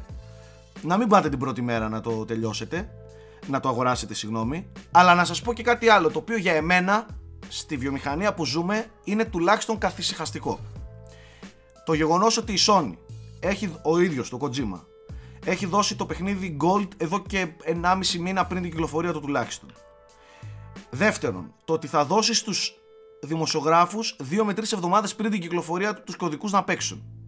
Με περιγραφή ότι θέλουμε να απολαύσετε, να το δείτε, να το κατανοήσετε το παιχνίδι και μετά. Για εμένα δείχνει μια εμπιστοσύνη και μια σιγουριά. Θα μπορούσε κάλλιστα στο παιχνίδι το οποίο υπάρχει αυτό το μυστήριο και υπάρχει αυτό το άγχος, εάν ήταν walking simulator, εάν ήταν μέτριο, εάν ήταν κάτι εκφοβιστικό ας πούμε, ε, να έδινε στους δημοσιογράφους τις κόπιες μαζί με, τους, μαζί με το κοινό. Το δίνει σχεδόν ένα μήνα πριν για να το παίξουν ε, που σημαίνει ότι κάποιος αισθάνεται άνετα με το παιχνίδι. Να μην θυμίσω περιπτώσεις άλλων μεγάλων εταιριών που δίνουν τα παιχνίδια τους την ημέρα του launch. Οκ. Ε, την ημέρα που κυκλοφορούν γιατί κάτι κρύβουν. Γιατί κάτι φοβούνται να μην ακυρωθούν προπαραγγελίες, να μην, μην, μην. Αυτό νομίζω ότι κάτι λέει για τον Death Stranding. Εγώ βλέπω και ένα νοικοκύρι εκεί πέρα πίσω στο όλο concept. Και όχι κάτι, άντε πάμε και δώστε, πάρτε πωλήσεις, δώστε pre-orders. Νοικοκυρεμένα έδωσε το, το goal του πολύ πριν και δίνει και πολύ νωρίτερα στους δημοσιογράφους για τα reviews. Αυτό μπορεί κάτι να λέει. Μπορεί να μην λέει τίποτα και απλά να τους χαϊδεύει και να τους γλύφει τους δημοσιογράφους ε, αλλά μπορεί και να λέει. η εμπειρία μου μάλλον θετικό μπορεί να σημαίνει αυτό. Όσα παιχνίδια πήραμε τελευταία στιγμή πριν την κυκλοφορία, μεγάλα παιχνίδια, κάποιο λάκκο είχε η Φάβα. Πάντα. Πάντα όμως. Ε, τα παιχνίδια που τα παίρνουμε πολύ νωρίτερα υπάρχει μια εμπιστοσύνη. Αυτά. Να φύγουμε από το Death Stranding και να μην μείνουμε πάνω στο Death Stranding. Ε, now Εδώ, playing, εδώ και λέγαμε. 20 λεπτά ε, απλά ξέρω εγώ, έχουμε μπλεχτεί σε ένα κύκλο που δεν τελειώνει ποτέ, ρε παιδί μου. Εντάξει, Ναι, εντάξει, ήταν οκ. το, now, το now playing του Kojima. Πώς παίζει με, τη, με Τέλος το πάντων, παραδοτικό επειδή, κοινό. επειδή το Death Stranding δεν είναι το μοναδικό παιχνίδι που κυκλοφορεί και έχουμε κι άλλα, ας πούμε λίγο με τα... Ε, με το Now Playing τι έχουμε. Έχω κι άλλα εγώ να πω. Εσείς τι έχετε παίξει; Εγώ έπαιξα Borderlands. Ε, θες να ολοκληρώσεις εσύ πρώτα; Εγώ τελείωσα για το... Ε, α, Ε, για- με τον, Ge- μετά τον Gears; Ναι, ε, μετά τον Gears ε, μου ήρθε για πλάκα το, το Link's Awakening ε, και απλά το έβαλα με το στρατούλι να το δω στην τηλεόραση να δω πως φαίνεται με τη λογική ότι θα το παίξω μάλλον προς τα Χριστούγεννα γιατί Zelda, Χριστούγεννα, ξέρετε, Switch, γλυκούτσικο, έτσι ε, ξεκινάω να δω πως φαίνεται στην οθόνη μου την ωραία και τα λοιπά ε, και το τελείωσα το επόμενο απόγευμα Έπαιξα 20 ώρες σε περίπου 30 ώρες κανονικής ζωής. ναι και εντάξει, Γιώργο, να σου πω λίγο κάτι. Ε, θυμάσαι που έλεγα κάτι για τα γλυκούλια γραφικά και μήπως να πολύ ζαχαρωτά και πολύ τέτοια; Μαλακίες έλεγα. Το, το, το Zelda είναι, τι να σου πω, ξέρεις τι μου έκανε πιο πολύ εντύπωση; Όχι για το πόσο καλό παιχνίδι είναι κτλ. Ή πόσο καλό remake. Ε, ε, αυτό που μου έκανε εντύπωση είναι ότι ένιωσα, αλήθεια στο λέω, ένιωσα ότι παίζω ένα, σαν να είμαι στο 95, έβαλα παιχνίδι και βίωσα ακριβώς το, το ίδιο feeling. Τι, ναι, τι αυτή με- τη τι- ζεστασιά, έτσι. αυτή τη ζεστασιά, ναι, ρε φίλε. αυτή Ε, την το έχω- το έχω αγκαλιά. κι εγώ αυτό. την έτσι, έτσι, είναι, έχεις αγκαλιά δίκιο. του, του, του, προς, προς τον gamer, ρε παιδί μου. Ε, και όχι γιατί εγώ δεν ήμουν δεμένος με το Link's Awakening. Το, σαν Ναι, ναι, παιχνίδι. κατάλαβα τι λες. Δηλαδή το είχα παίξει στο Game Boy, γάμισέ τα δηλαδή. Δεν μπορώ να πω ότι είμαι δεμένος με το παιχνίδι. Δεν θυμόμουν τίποτα εγώ από το παιχνίδι. Αλλά ρε φίλε ένιωσα ότι, ότι, είμαι, ότι είμαι 13 χρονών, 12 χρονών σ- τι να σου πω τώρα, ξα, ξαπλωμένο στο χαλί και να παίζω Nintendo με καλώδιο, με- με μοχλό με καλώδιο ας πούμε και το, το feeling, ο τρόπος που σκεφτόμουν στο παιχνίδι, ο τρόπος που έπαιζα, ο τρόπος που, που, που η τακτική μου, το, το, το, το στυλ μου όλο ήταν σαν να είμαι εκεί. Τελείωσε το σύγχρονο, το ξέχασα το σύγχρονο gaming για, για λίγες ώρες. Έπαιζα ένα παιχνίδι της τότε εποχής. Το ίδιο καλό παιχνίδι. Ναι. Δεν έχει τίποτα σύγχρονο το Συμφωνώ, Link's Awakening. συμφωνώ ότι έχει μια αγνότητα και είναι και συγκεκριμένο το, το συγκεκριμένο παιχνίδι επίσης. Ναι, έχει ναι, μια ναι, ναι, αγνότητα ναι. Που, που δεν συναντάς εύκολα πλέον. Και ακόμα και για την Nintendo έχει μια αγνότητα που δεν συναντάς εύκολα. Είναι ένα παιχνίδι, μην ξεχνάμε, που κυκλοφόρησε μετά το Link to the Past, το οποίο ήταν ένα μεγαθήριο, ας πούμε έτσι. Μμμ. Άλλαξε Είναι. πολλά πράγματα. Και παρόλα αυτά, λίγο μετά από αυτό βγαίνει αυτό το παιχνίδι το οποίο είναι τόσο απελευθερωμένα περίεργο που λες τι γίνεται ρε παιδιά εδώ πέρα; Δηλαδή δεν υπάρχει Ganon, δεν υπάρχει κάποιος boss στο παιχνίδι, μεγάλος Κακός. έχεις ένα, αυγό, έχεις ένα αυγό στην κορυφή ενός βουνού υπάρχουν οι χαρακτήρες του Μάριο διάσπαρτοι μέσα ε, δεν ξέρω, πο- δεν ξέρω καν πώς να το χαρακτηρίσω. Είναι one of a kind τελείως και από, από τα παιχνίδια που δυστυχώς δεν υπάρχουν οι συνθήκες να βγουν πλέον. Δεν υπάρχει αυτή η ελευθερία να κάνει κάποιος ό,τι του καπνίσει. Κατάλαβες; Ναι, ναι, ναι, Οπότε- ναι, κατάλαβα. Ακριβώς Με κατάλαβα. αυτή την έννοια, συμφωνώ απόλυτα ότι σε μεταφέρει σε μια εποχή όπου δεν ήταν τόσο υπολογισμένα, ρε παιδί μου. Ξέρεις, βλέπεις, βλέπεις ανθρώπους απλά να κάνουν αυτό που τους ήρθε εκείνη τη στιγμή, ψηλο, με ειλικρίνεια και με, με, με έμπνευση, ας πούμε, της στιγμής. Δεν είναι αυτό το υπολογισμένο να κάνουμε, να ικανοποιήσουμε, να fan lists, ε, forums, δεν ξέρω κι εγώ τι. Και ακριβώς αυτό έγινε στο remake. Δηλαδή, Ναι, το remake είναι το remake πολύ, δεν- πολύ, πολύ πιστό. δεν προσπάθησε, Ναι, δεν προσπάθησε ούτε κατά διάνοια να δώσει κάτι παραπάνω Τίποτα. ή κάτι σύγχρονο πέρα από το οπτικό. Α, εντάξει, Δηλαδή- εκείνο με τα, με τα dungeons που φτιάχνεις τα δικά σου. Εντάξει, σαν έξτρα το, είναι αυτό. το οποίο το δοκίμασα, μου πέρασε τόσο αδιάφορο, δεν ναι, ασχολήθηκα και εγώ δεν το δευτερόλεπτα. ελάθηκα. Δεν το Δεν- ελάθηκα. σαν να μην υπήρξε. Το έκανα μόνο γιατί σε υποχρέωσε σε ένα quest να το κάνεις και δεν Ναι. ξαναασχολήθηκα, αλήθεια σου το λέω. Έκανα όμως όλα τα άλλα. Ό,τι υπήρχε στο χάρτη το έκανα. Τα Ε, αλκοχίλια. Αλλά, ναι, τα πάντα. Τα πάντα. Ε, το, το θέμα είναι ότι δεν προσπαθεί να το παίξει σύγχρονο, δεν τον ενδιαφέρει, δεν το ενδιαφέρει τι παίζει τριγύρω στη βιομηχανία.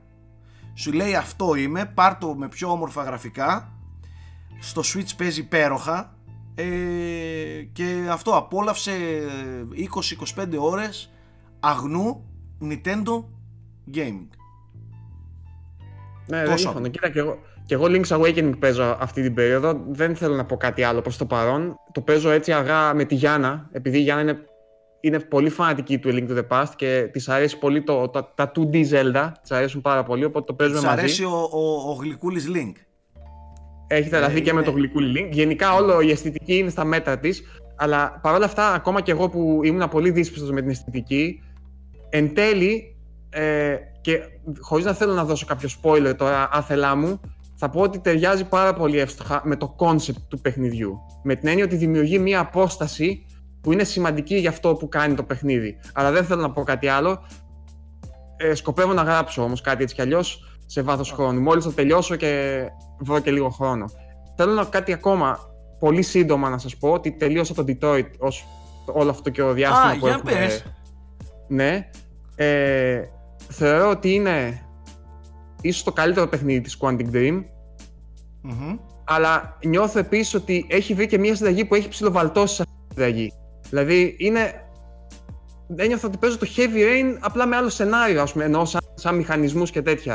Ναι. Δεν βλέπω ναι. κάτι διαφορετικό. Συνεχίζω να βλέπω τρελές αδυναμίες σεναριακές. Δηλαδή δεν μπορεί να ξεφύγει εύκολα από τα κλισέ ο, ο Cage. Όχι ότι απαραίτητα είναι κακός, στο συγκεκριμένο ψιλολειτουργεί. Είναι οκ δηλαδή. Δεν, δεν βαρέθηκα σε κανένα Νομίζω σημείο. ότι για να το λειτουργεί πω έτσι. περισσότερο, καλύτερα από όλα τα... Ναι, καλύτερα από όλα τα άλλα, συμφωνώ. Ναι. Τα γραφικά του, ο τεχνικός τομέας είναι εκπληκτικός. Ε, ήταν Το pacing Για μένα δεν σ' ήταν άρεσε. Ή σχετικά όλοι- ευχάριστη έκπληξη. Δηλαδή Ναι. το περίμενα χειρότερο για να πω την αλήθεια. Ε, επειδή είναι από τα παιχνίδια που έχω λίγο απομυθοποιήσει όσο περνάνε τα χρόνια.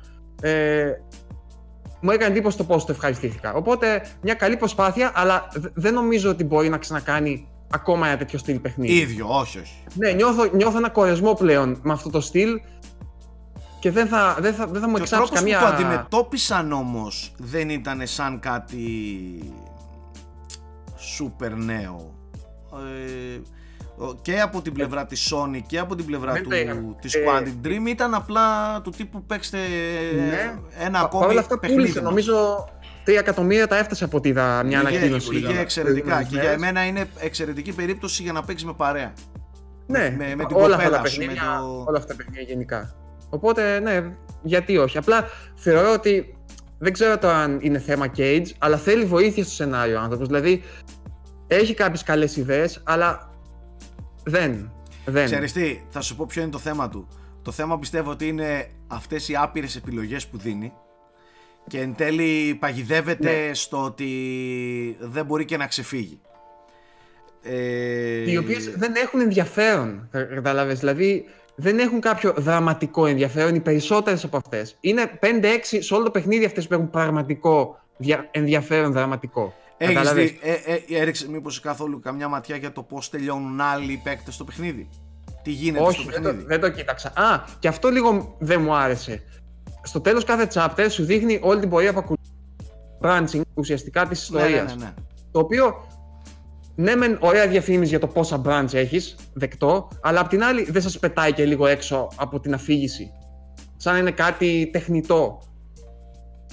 Δηλαδή, φαντάσου τώρα στο. Μα, αυτό, μα αυτή είναι η φύση του παιχνιδιού όμως, ρε Γιώργο. Ναι, δεν ξέρω. Ε, εμένα με, Δηλαδή η με φύση του κάνει να το παιχνιδιού δεν βλέπω είναι να σου τελείως δώσει μια υπεραπέξω. συμπαγή.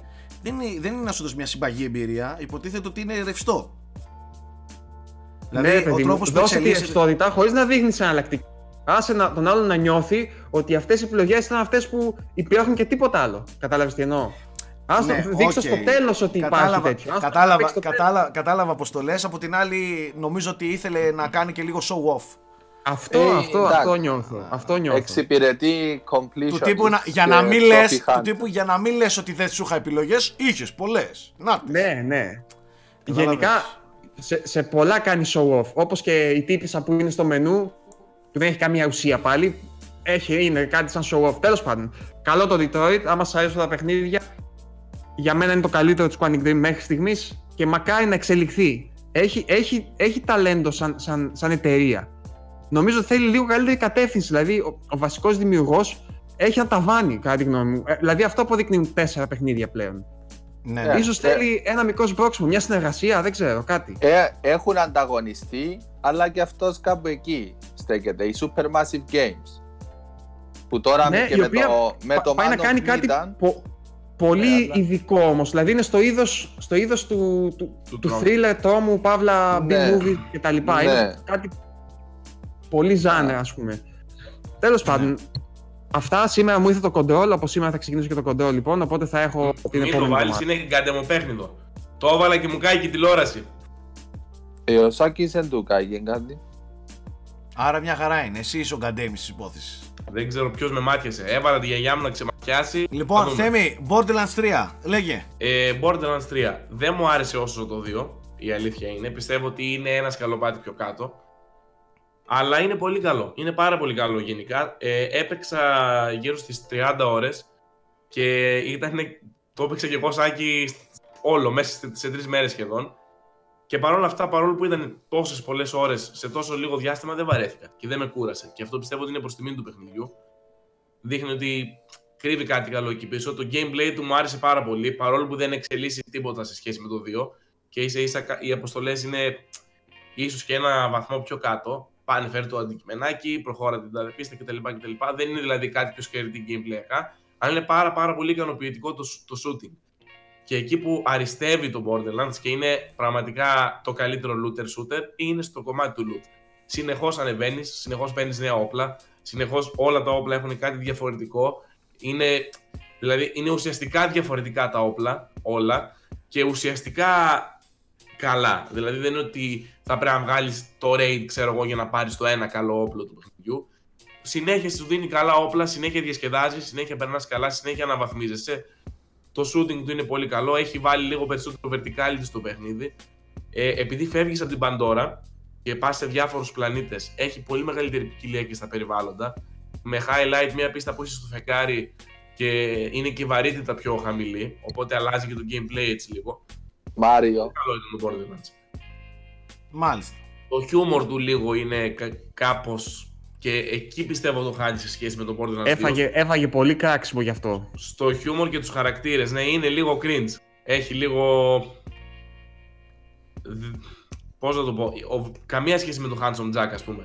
Οι βασικοί ανταγωνιστές. Ο Claptrap Ναι. όμως είναι Claptrap. Μόνο το Claptrap και κάποιοι άλλοι λίγοι χαρακτήρες δίνουν. Κυρίως οι παλιοί χαρακτήρες δίνουν λίγο έτσι μια διαφορετική και πιο ενδιαφέρουσα νότα. Οι νέοι χαρακτήρες όλοι πολύ νοχελικοί και πολύ, δηλαδή αστεία τα οποία είναι πολύ βεβαιασμένα. Α, κατάλαβα τι κάνεις εκεί, χαμογελάς αλλά δεν είναι ουσιαστικά αστείο. Μάλιστα. Για Ε, πα... Τελευταία σημείωση για παρέα, άμα θέλετε κάτι κο- και τα λοιπά, είναι πρόταση guarantee. Ειδικά άμα το πατσάρουν λίγο ακόμα για τα κάποια τεχνικά θέματα που είχε. Nike. Ε, παίζω και εγώ το, το Link's Awakening. Ε, εγώ μόνο να προσθέσω ότι ε, το παίζω το παίζω αργά το βράδυ στο κρεβάτι για αναγκαστικά handheld mode γιατί θέλω ε, το παίζω σαν το έπαιξα τότε στην ουσία σαν έπαιξα τον DX Οκ, είναι. Ε, και ναι, οπότε το παίζω πιο σιγά ε, και είναι ακόμη πιο μαγικό για μένα η όλη φάση. Και ταυτόχρονα παίζω και το, το, το Forza Horizon 4 που τώρα πριν κάνα μήνα κυκλοφόρησε το νέο expansion, το Lego. Εγώ αγαπάω και Forza και αμάξια και Lego, οπότε είναι best of both worlds για μένα. Και για μένα προσωπικά, επειδή δεν, έχ- δεν έχω παίξει τον Gears 5, Ε, θεωρώ το Forza Horizon 4 το καλύτερο αποκλειστικό παιχνίδι του Xbox One. Γιατί πήραν τη φόρμουλα των, του, του 1, του 2, του 3, αλλά αυτό που, που έχουν κάνει με τις τέσσερις εποχές, και τα, τα έχουν κάνει σεζόν. Η, η κάθε εποχή διαρκεί μία εβδομάδα, οπότε, και η, οπότε η κάθε εποχή, η κάθε εβδομάδα έχει νέο περιεχόμενο και δεν τελειώνει το περιεχόμενο. Καλά, ναι, ναι, εγώ προφανώς μιλούσα για αυτά που παίζω εγώ. Το Forza φαίνεται και νομίζω ότι είναι Ναι, πλέον ναι. κοινώς αποδεκτό ότι μιλάμε για παιχνιδάρα για αυτούς που γουστάρουν το racing genre. Δεν το συζητάμε. Ναι, ναι, ναι, απλά επειδή ε, μέχρι ό- όταν και αν, και αν αλλάξει αν παίξω το Gears 5, για μένα είναι το, τόσο καλό είναι το Forza Γιατί Horizon. αυτή τη στιγμή 4. υπάρχει άλλο παιχνίδι τόσο ζωντανό σε ο racing κόσμο; Όχι. Τόσο ζωντανό, όχι. Και να, ε, ε, μπήκαμε, είναι ο 13ο μήνας και θα συνεχίσει το περιεχόμενο. Δηλαδή, Ναι, βλέπεις αυτό αυτά. λέω. βλέ- Δηλαδή βλέπεις Ναι. ένα χρόνο Ωστόσο, τώρα. ε, live υπηρεσία, το update που έχει φάει και το επόμενο είναι από τα καλύτερα Ναι. παραδείγματα στη βιομηχανία. Ναι, είναι και το multiplayer του και αυτό που πας με, με, αν θες με παρέα, το online adventure, να παίξεις, να... ε, είναι, είναι υπο, ο- παιχνίδι παιχνίδι, racing Μάλιστα. παιχνίδι. Πώς και Ε, δεν και παίζει πριν- Destiny, ρε Nike; Ε, ναι, ε, πολύ καλό τον Destiny, ε, αλλά δεν θέλω να ξαναβυθιστώ στο Destiny. Δεν θες να ξαναπέσεις Ε, στα βαριά. Πες το, γιατί δεν το λες; Τώρα με το expansion γύρισε πολλοί κόσμος, γι' αυτό και τα αναρωτιέμαι. Ναι, Πέφτεις το στο- ξέρω. Κοίτα, ε, δεν προτιμώ να παίξω άλλα. Δηλαδή, και τότε που παίζα τον Destiny, για μένα ήταν τόσο καλό, όσο τόσα άλλα που περιμένανε στο ράφι. Και δεν θέλω τέταρτη, πέμπτη χρονιά να συμβεί το ίδιο. Σε, σε αυτήν τη χρονιά επιλέγω να περιμένει το καλό Destiny στο ράφι, όσο παίζω τα άλλα. Δηλαδή δεν, δεν λέω ότι δεν θέλω να χάσω το χρόνο μου με Destiny, Το κακό με αυτά Δεν- τα παιχνίδια, Nike, δεν θεωρώ χαμένο χρόνο. Όσο, το, οι, οι 2.500-3.000 ώρες έλεγε το PSN, δεν ξέρω. Δεν τις έχασα. Θα σου πω τις το εξής. απόλαυσα. το Αλλά προτιμώ να καλό, παίξω άλλα. το, κα- το κακό με αυτά τα παιχνίδια είναι ότι αναγκαστικά είναι ανταγωνιστικά ως προς εσένα ε, και δεν σου αφήνουν περιθώριο να χαλαρώνεις με τη λογική ότι πρέπει συνεχόμενα να είσαι μέσα, να μην χάνεις, Ναι. να μην είσαι πίσω και και και. Αυτό σε έναν gamer όπως είσαι εσύ, ποικίλης ύλης, ε, σε πάει πολύ πίσω. Το έχω βιώσει κάποιες φορές με κάποια παιχνίδια και έχω καταλάβει ότι όσο καλά παιχνίδια και να είναι, ε, νομίζω ότι για, αυτού, για το gamer που εμείς θεωρούμε ότι υπηρετούμε, δεν κάνουν ρε φίλε. Δηλαδή σε πάνε πίσω. Εγώ Ναι, θέλω να και ξαναδώ αυτό. και στο λέω δημόσια, θέλω να ξαναδώ τον Nike που τερμάτιζε τρία παιχνίδια την εβδομάδα. Μπορώ να τον δω. Ναι. Και με τον Destiny είχες μείνει λίγο πίσω. Με τη λογική ότι. Πολύ. Πολύ. Ναι, και πολύ πίσω και ξέρεις γιατί. Όχι ότι σκότωνες το χρόνο σου. σα ίσα γαμάτα περνούσες. Εγώ δεν λέω ότι το παιχνίδι σκοτώνει χρόνο. Αλλά ή, ή παίζεις αυτό το παιχνίδι και περνάς γαμάτα, ή ασχολείσαι και με όλα τα άλλα. Δεν μπορείς να Ναι, παίζεις ναι. και αυτό και όλα τα άλλα. Δεν γίνεται. Συμφωνώ. Ως, ως gamer εκείνες τις χρονιές, τις Destiny χρονιές, ήμουνα πιο φτωχός Ναι, gamer. άνθρωπος που δουλεύει Είχε- 8 και 9 ώρες την ημέρα, έτσι. Όχι Ναι, για ναι, αυτούς ναι. που έχουν 24 ναι. ώρες. Έρχονταν Χριστούγεννα, έκανα απολογισμό της χρονιάς και έβλεπα πόσο πιο φτωχός gamer ήμουν και με πόσες εμπειρίες είχαν μαζευτεί στο ράφι που πώς να τις, πότε να τις προλάβεις ενώ κυκλοφοράνε άλλες. Ε, βέβαια. Καταλάβαινε. Αυτό. Η διασκέδαση ήταν εκεί. Α τη στο- διασκέδαση. Τώρα Αλλά, μιλάμε για ναι. το. Ναι, ναι. Γι' αυτό όχι ξανά. Μάλιστα. Ε, ένα τελευταίο που παίζω τώρα και είμαι στο τέλος και τελειώνω είναι το The Search 2 για το οποίο λογικά θα δείτε review εκτός αν έρθει ο κωδικός Death Stranding και το παρατήσω. όχι, ρε, όχι. ρε. Θα το τελειώσω. Είμαι στο τέλος το The Search 2. Ε, νομίζω ότι είμαι ο μοναδικός άνθρωπος στον κόσμο που παίζει The Search. Δεν πρέπει να παίζει άλλος. Ε, άντε να είναι δύο-τρεις φίλοι των developers και να είμαι ο μοναδικός που το περίμενα και σαν τρελός και τους έκανα και tweet και retweet και τους έστελνα μηνύματα και έλεγα Ε, guys, πού είναι, το... πού είναι ο κωδικός μου; Ε, το The Search 2 ήμουνα επίσης ο μοναδικός που γούσταρε το ένα και είχε παίξει το ένα.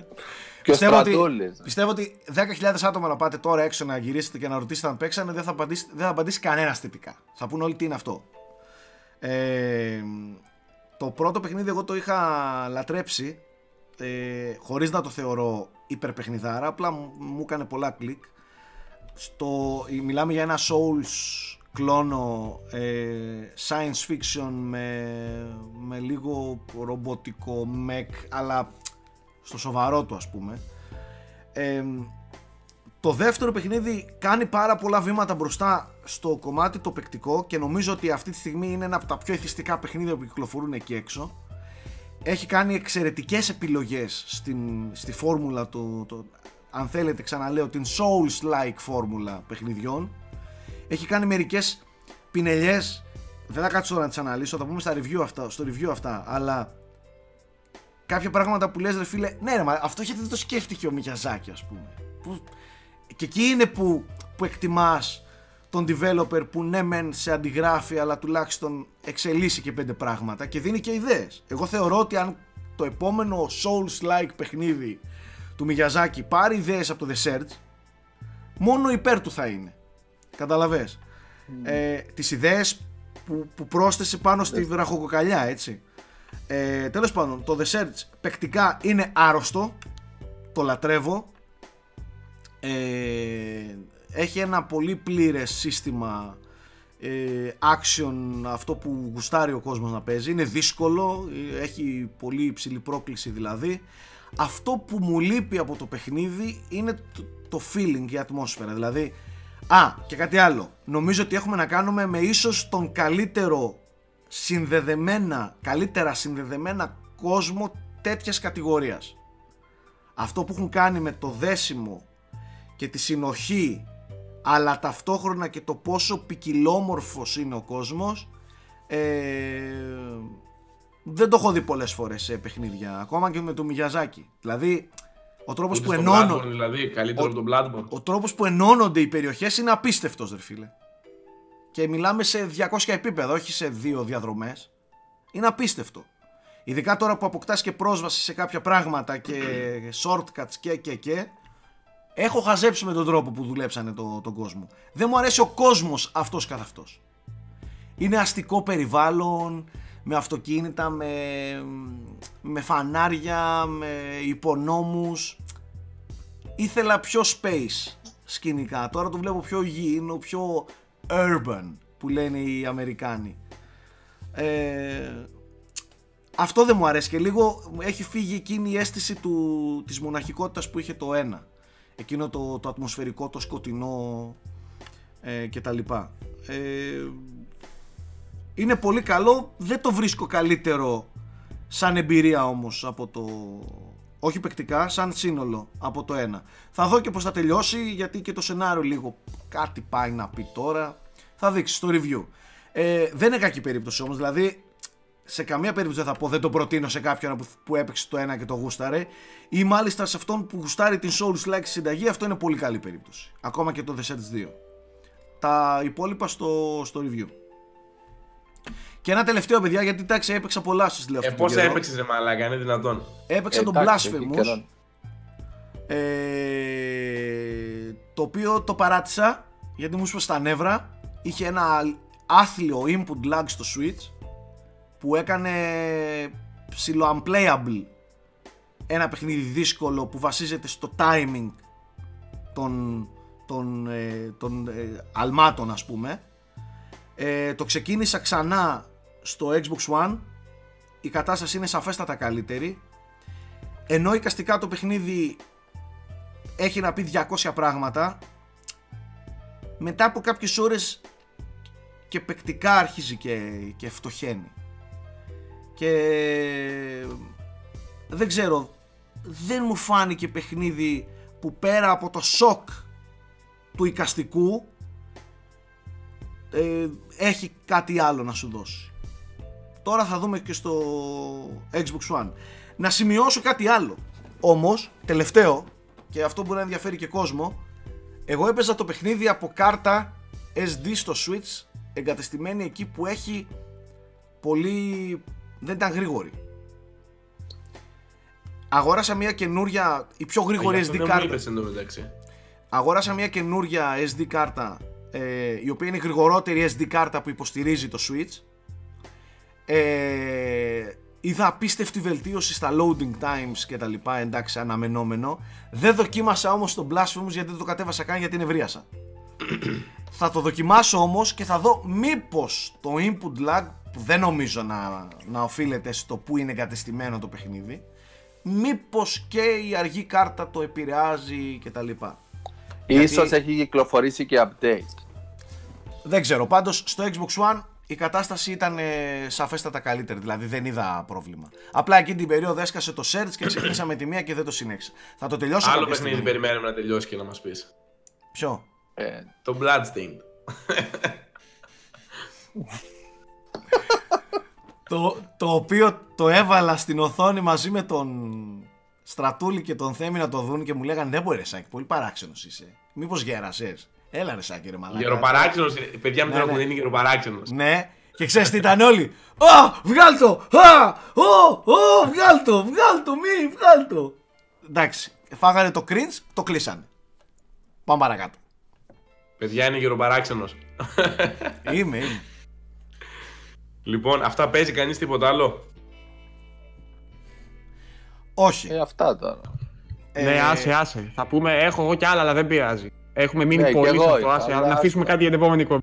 Πρόεδρε, πες μας λίγο για τον Τζόκερ όμως, ρε φίλε. Εντάξει, θα Περίμενε, αφήσουμε περίμενε, το περίμενε, τελείως. πριν πάμε, πριν πάμε Τζόκερ λίγο ε, εκεί. δε- δε- έναν εκατομμύριο.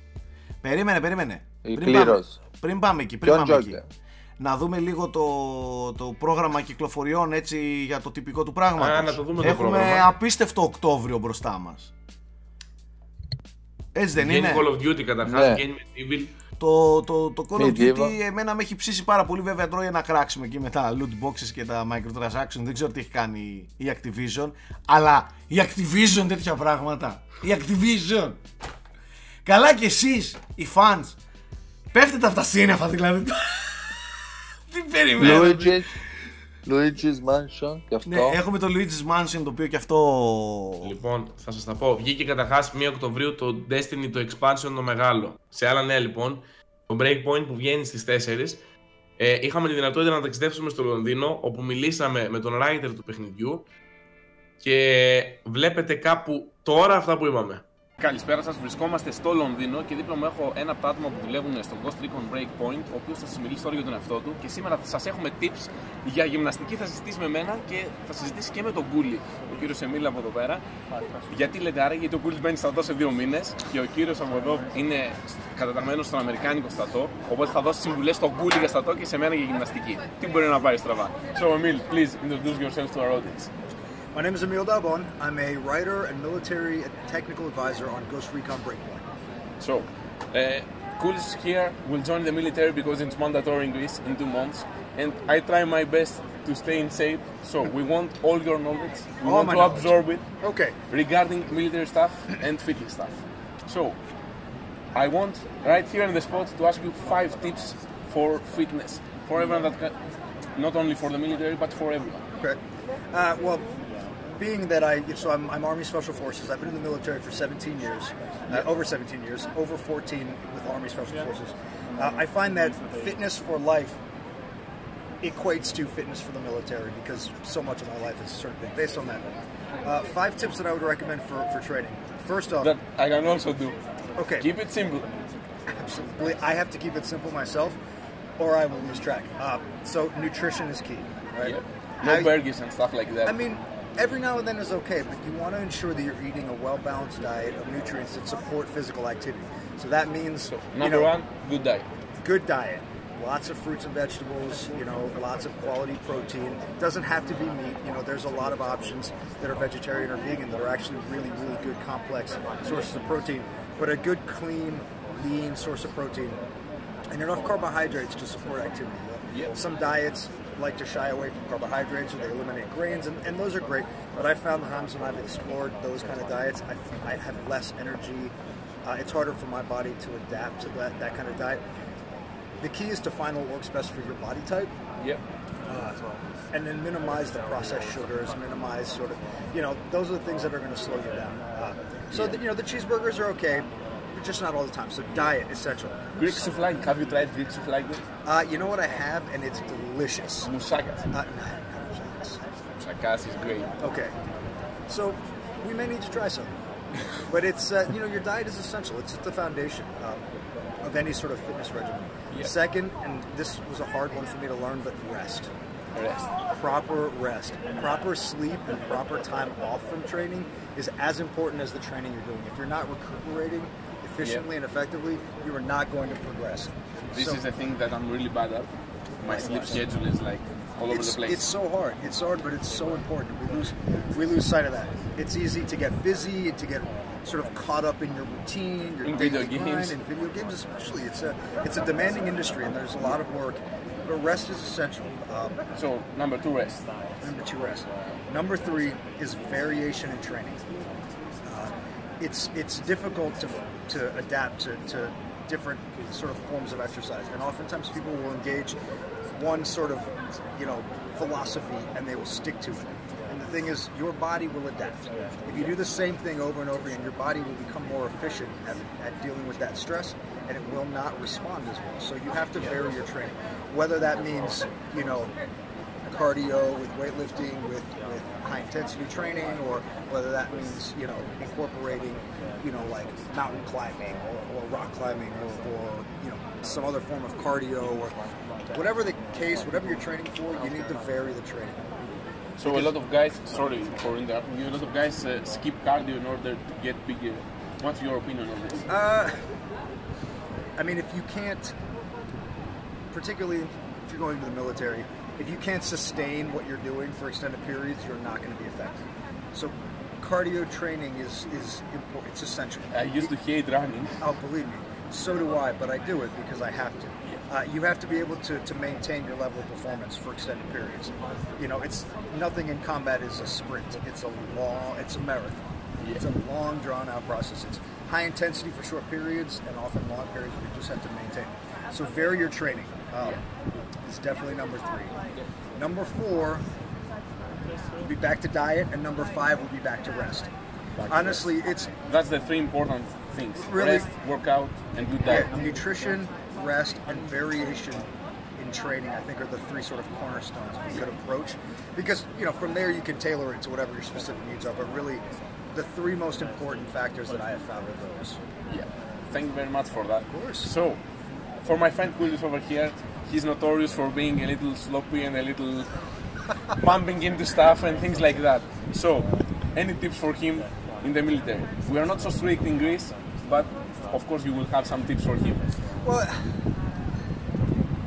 That's a, that's a tough thing to, to, to, to For example, he can't wake up early in the morning. what can he do? All right, so that, all right, so that brings the next one, right? Uh, discipline, right? Yeah. So you have to be self-motivated and self-disciplined. Granted, once you're in the military, they impose discipline on you, but you need to have a sense of discipline on your own, uh, because there's going to be times that you don't have the immediate guidance. You don't have the immediate sort of discipline. You have to be able to discipline yourself. And that can be a really challenging thing for a lot of people, myself included. It was, uh, I've always been sort of self-driven, but I find it very difficult at times to adhere to a routine. You just have to force yourself. Like I wake up at 5.30 every morning, whether I have something to do or not, so that I can exercise, I can do some work, I can, you know, it's easy if I have something to do. Oh, I have to be somewhere in the morning. Regardless of that, I wake up at 5.30 every day because it's part of my routine because it helps me to maintain self-discipline. In our group, it's like an inside joke. How will Gulis wake up when he's in the military?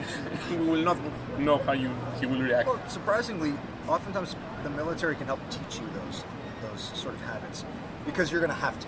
Yeah. Uh, and so having an outside entity like the military that imposes that sort of strict regimen on you can be very helpful in developing habits that you can then take from the military and apply in other aspects of your life. Um, it's difficult to find that on your own. So often, a lot of people that I knew were not disciplined, and they joined the military and they learned discipline and they learned self-motivation through that. Look at this guy. Do you think that he will learn discipline? Absolutely. It may be, Thank you. It may be a painful lesson that you will learn. and it's going to be worth it. It always is. It So, always any is. other tip for him to survive in there? I mean, so military service really is about uh, is about tolerating discomfort. Uh, that's really the biggest thing. Being able to sleep outdoors with minimal equipment, carrying heavy weight on your pack for long, long periods. Uh, you know, suffering in the elements. If it's raining, if it's cold, you're out there regardless. So you can start to train some of that. anyone that's going into the, military they ask me for training tips, I always say incorporate rock march and force march into your training. That means just wearing, you know, a, a rucksack with with 40 to 50 pounds, you know, maybe 25 kilos ish, mm-hmm. and just walk, but walk for a long time. Walk until you're uncomfortable, and then walk for two hours longer, because that's going to help accustom you to the sort of feeling of being uncomfortable add that into your routine. When you're, you know, the sort of variation in training, Yeah. that's a great supplemental training exercise you can do specifically for military service. You know, if you're going to go jogging, jog with a weight vest. Make it a little That's harder. You know, like force yourself out of your comfort zone so that you begin to understand what it is to endure being uncomfortable. If you can endure discomfort, you'll do well. So, final verdict: he will survive or no? Just look at him. Uh, yes, I think he's going to do just fine. I support you. Thank you. Thank you so much. So, I end, need that. we have something different. Uh, we will play some kind of a game. Okay? I want you to guess, of course, in the concept of fitness, how many push-ups I can do right here, right here on the spot. Look at me, I'm not so buff, but I will try my best. 70. 70. Yes. Okay, let's try that. Ο Εμίλ λοιπόν θα με καθοδηγήσει για να δούμε αν μπορώ να κάνω 70 κάμψεις που έκανε την πρόβλεψη. Do you think I will make 70? I do. Okay, let's try that I out. think you will. Let's try that out. All right. You are counting, I right? will count. I want all the way Πάμε, ρε, to Θέμη. full extension. Make Go, Θέμης. Lower. Lower. Four, Έλα, five, έλα το σώμα σωστά. set, lower. Ε, το πουστόνιο δεν ετοιμάζεται, παιδιά. Το πουστόνιο ετοιμάζεται. 12, 13, 14, 15, 16, lower. There you go. Έτσι. Πάμε ρε Θέμη. Πάμε αγόρι μου, έλα. Μην καμπουριάζεις. 24, lower. Μην καμπουριάζεις, ακούς τι λέει. Lower. Lower. Έτσι. You have to Like break this. parallel. Upper arms need to break 90 degrees. It's getting tougher. Oh yeah. 30, 31, 32. Rest if you need to. You can rest in the up position. Θα σε μετρήσουμε μετά. Πάμε. Arch your back. Κάνε περήφανο τον Αλέκο. To take a little pressure off your shoulders and rest that way. Θέμη, θέλω να κάνεις περήφανο τον Αλέκο. 35. Thank you very Very much. close, very close. Gives you something to train for. I have 100 Heart rate? heart rate is 100. but I tried my best. Hey, that's all that matters. Honestly, if put a max effort into every workout you do, try your best, and then just try to improve sort of Yeah. incrementally. It's not about hitting big numbers right away. You know, it's about finding your baseline, understanding where your level of fitness is, and then incorporating different techniques, whether it's variation in your training, changing and improving your diet, getting more rest, so that you slowly bring those numbers up. Yeah, so even if in the start it's difficult, you can always work up to something. It's always difficult to start. If it was easy, everybody would do it. Right. It should be difficult. And it's hard to get started. Once you have a good baseline, once you understand how your body reacts to exercise, you can implement different systems and strategies to improve. Thank you so much for the tips, Emil. Are you ready for round two?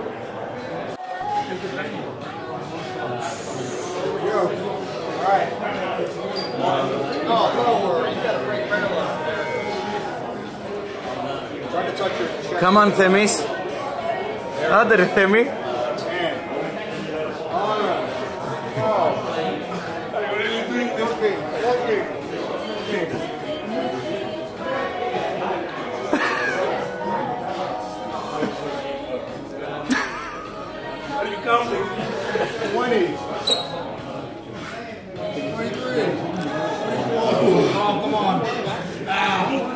Let's go for pizza. That's the reward. Α, εντάξει, νομίζω αυτή η εκπομπή είχε κρίξεις, είχε μέσα Λονδίνο, Μπράτσα, κάμψεις. φλέβες. Ε, Τι, τι να πούμε τώρα, η Σοκ και υπερπαραγωγή. δέος τώρα. επιστρο- Εντάξει, τώρα Ναι, μιλάμε για έτσι. εκπομπή άστο τώρα, ας πούμε. Δεν υπάρχει αυτό το πράγμα που βιώνουμε.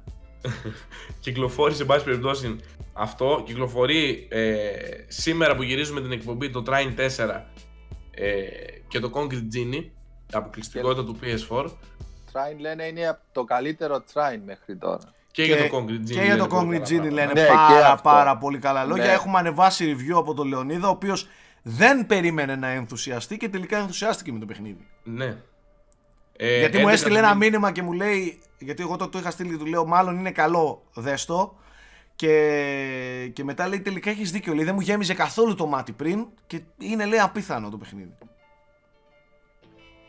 Μάλιστα, καλά τα πήγαινε. 11 Οκτωβρίου έχουμε το Grid. Βγαίνει το Frostpunk για αυτούς που, ε, που το είχαν. ε, Αυτό έχει βγει στο PC παλιότερα και βγαίνει στις κονσόλες άμα το είχατε βάλει στο μάτι. Μμμ. Το Indivisible από την 505 Games, ζωγραφισμένο στο χέρι, λίγο ιδιαίτερο παιχνίδι. Ε, βγαίνει το Overwatch και το Witcher 3 στο Switch. Πολύ μεγάλα ports και τα δύο πολύ μεγάλα παιχνίδια. Βγαίνει στο Ναι. PC το Chernobyl Έλα ρε, Τσερνομπιλάιτι. Ναι, ναι, βες. Βγαίνει στις 18 του μήνα το Plants vs Zombies Battle for Neighborville. από Ε, την να EA. το, να το το παιχνίδι του της Ε, χρονιάς. όχι, όχι, σου έχω ακόμα καλύτερο μετά. Στις Ποιο; 22 Οκτωβρίου WW και 20. Ε, άντε γαμίσου τώρα! Τσο! Review πρόεδρος. Θα βγει. Μα Γιώργο, ξέρεις Ναι, ότι θα. γιατί, γιατί ο, περίμενε, τον WWE, Σάκη, ο, ο, ο, ο, Κούλης δεν το πρόεδρος θα το κάνει προλαβαίνει. review. Ο Κούλης είναι στρατό. Ο Κούλης Λοιπόν, δεν το προλάβει. Λοιπόν, εγώ, εγώ θέλω να πω ότι ο Κούλης δεν το προλαβαίνει, θα μπει στρατό. Εδώ γελάμε. Ωστόσο, ωστόσο θα πούμε τον πρόεδρο, ο οποίος είναι γνωστός παλαιστής της εποχής. θέλω, να τον δω, θέλω να τον δω στο ring και να πηγαίνει έτσι το... Εγώ Θέλω δεν να το βλέπω φοβάμαι. 2K μπροστά μου για τον επόμενο χρόνο. ναι, ναι, ναι. Αν έκανε το review Θες, ο πρόεδρο. Έχω φάει όλο το Σεπτέμβρη παλεύοντας με το NBA 2K20. Το Μα, οποίο, δεν θέλω σου, να σας το πω. οποίο δεν σου πήγε καλά από την αρχή αρχή. Ναι, πριν- το οποίο πριν ήταν καν- 90 γίγα download, το οποίο μου, μου έκανε να κατέβει 4-5 μέρες. Καλά έφυγε και η δικιά μου σύνδεση γιατί είναι ό,τι να είναι εδώ πέρα στην Κρήτη. Αλλά γενικά μου έβγαλε την πίστη από την αρχή μέχρι την τελευταία λέξη του review, ας πούμε. Εγώ δεν σε φοβάμαι. Αφού του έχεις κάνει review το, το Tour de France, δεν σε φοβάμαι. Ναι. Γιώργο, πες μας λίγο, για- ε, ε, 30 δευτερόλεπτα για το NBA 2K. Παιδιά, το 2K είναι μεγάλο κρίμα. Παικτικά είναι πολύ καλό. Είναι ίσως το καλύτερο των τελευταίων ετών. Εννοώ ότι είναι και το μεγαλύτερο άλμα να είναι παικτικά Το καλύτερο. από παρατήρησα τα και εγώ τελευταία γιατί χρόνια. έπαιξα πολύ με το στρατούλι και το απολαμβάνω, αλλά. Ναι, αλλά δυστυχώς, παιδιά, εντάξει, το παιχνίδι έχει γίνει πλέον κάτι σαν πάνω απ' όλα διαφήμιση και brand placement παρά. Ναι. Κάτι Να το- τέτοιο είναι το 2K. Για κάτι brand- τέτοιο για ακριβώς brand είναι το 2K. Εκεί που placement, παίζεις- ναι. Εκεί που παίζεις και μιλάς, σκάει αυτό με το ζόρι έτσι.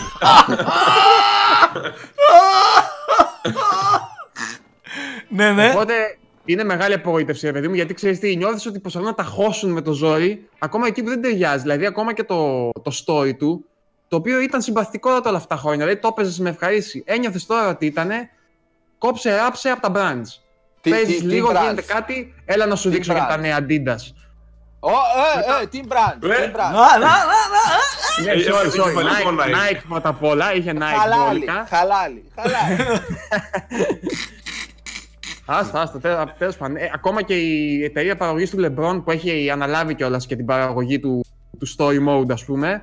Ε, και αυτή χωμένη, δηλαδή αυτό, κάνει και αυτοδιαφήμιση έξτρα από αυτό ότι έχει αναλάβει το τέτοιο. Τέλος πάντων, απογοήτευση μεγάλη σε όλο αυτό και έχει καταντήσει να γίνεται κουραστικό, ρε παιδί, πώς να σου πω. Δηλαδή, εμένα με, σαν να μπουχτίζω νιώθω. νιώθω δεν, δεν αντέχω άλλο να βλέπω brands και να μου χώνεις στα μούτρα αυτά τα πράγματα. Ακόμα και τα, και τα δεκάλεπτα, τις δεκάλεπτες εισαγωγές με διαφημίσεις, με τις, ε, με τις εκπομπές που λένε πάνω κάτω τα ίδια πράγματα σε κάθε αγώνα και αυτά κουραστικά έχουν γίνει, κατάλαβες. Πατάς Ναι. έτσι το κουμπί μετά από ένα σημείο για να φτάσεις να παίξεις, να ευχαριστείς λίγο. Ναι. Ε, Τέλος έτσι, πάντων. έτσι κι αλλιώς αυτό έκανα εγώ χρόνια το. ναι, ναι, απλά Ε, ξέρεις τι, έτσι. όσο, όσο αυτό το πράγμα συνεχίζεται επί χρόνια και, και χειροτερεύει αντί να καλυτερεύει, ε, πώς να σου πω τώρα, έχεις Κοίτα, χορτάσει. έχεις ανέκαθεν κουτίσει, αυτό ρε παιδί μου. κάναμε. Ρε πάμε μες στο jump ball, ρε bro. Άντε, ρε bro. Ήσουν έτσι, ας πούμε. Τέλος πάντων, ελπίζω να αλλάξει λίγο ρότα η σειρά. Γιατί Εγώ πιστεύω με νομίζω τόσα ότι brands έχει- δεν πρέπει να έδωσαν ούτε ένα ευρώ. Πρέπει να τα πήραν όλα Άστο, χορηγίες. Και, και, και επειδή παίζει και μόνο του, εντάξει, δεν, δεν γίνεται να, να μην το πάρεις. Δηλαδή, άμα θες να παίξεις ένα μπασκετάκι, θα παίξεις αυτό. Δεν γίνεται, δεν υπάρχει Είναι το κάτι άλλο. καλύτερο, εντάξει, δεν έχεις Είναι, είναι. Δεν λέμε κακά τα ψέματα, είναι καλό. Ακόμα και ο Ωραία. Snoop συμφωνεί. Το επιβεβαιώνει. Α αφήσουμε το NBA. Στις 25 είναι η μεγάλη μέρα του μήνα που βγαίνει μαζεμένα Call of Duty, Outer Worlds από την Obsidian και Medieval για το PS4 αποκλειστικότητα.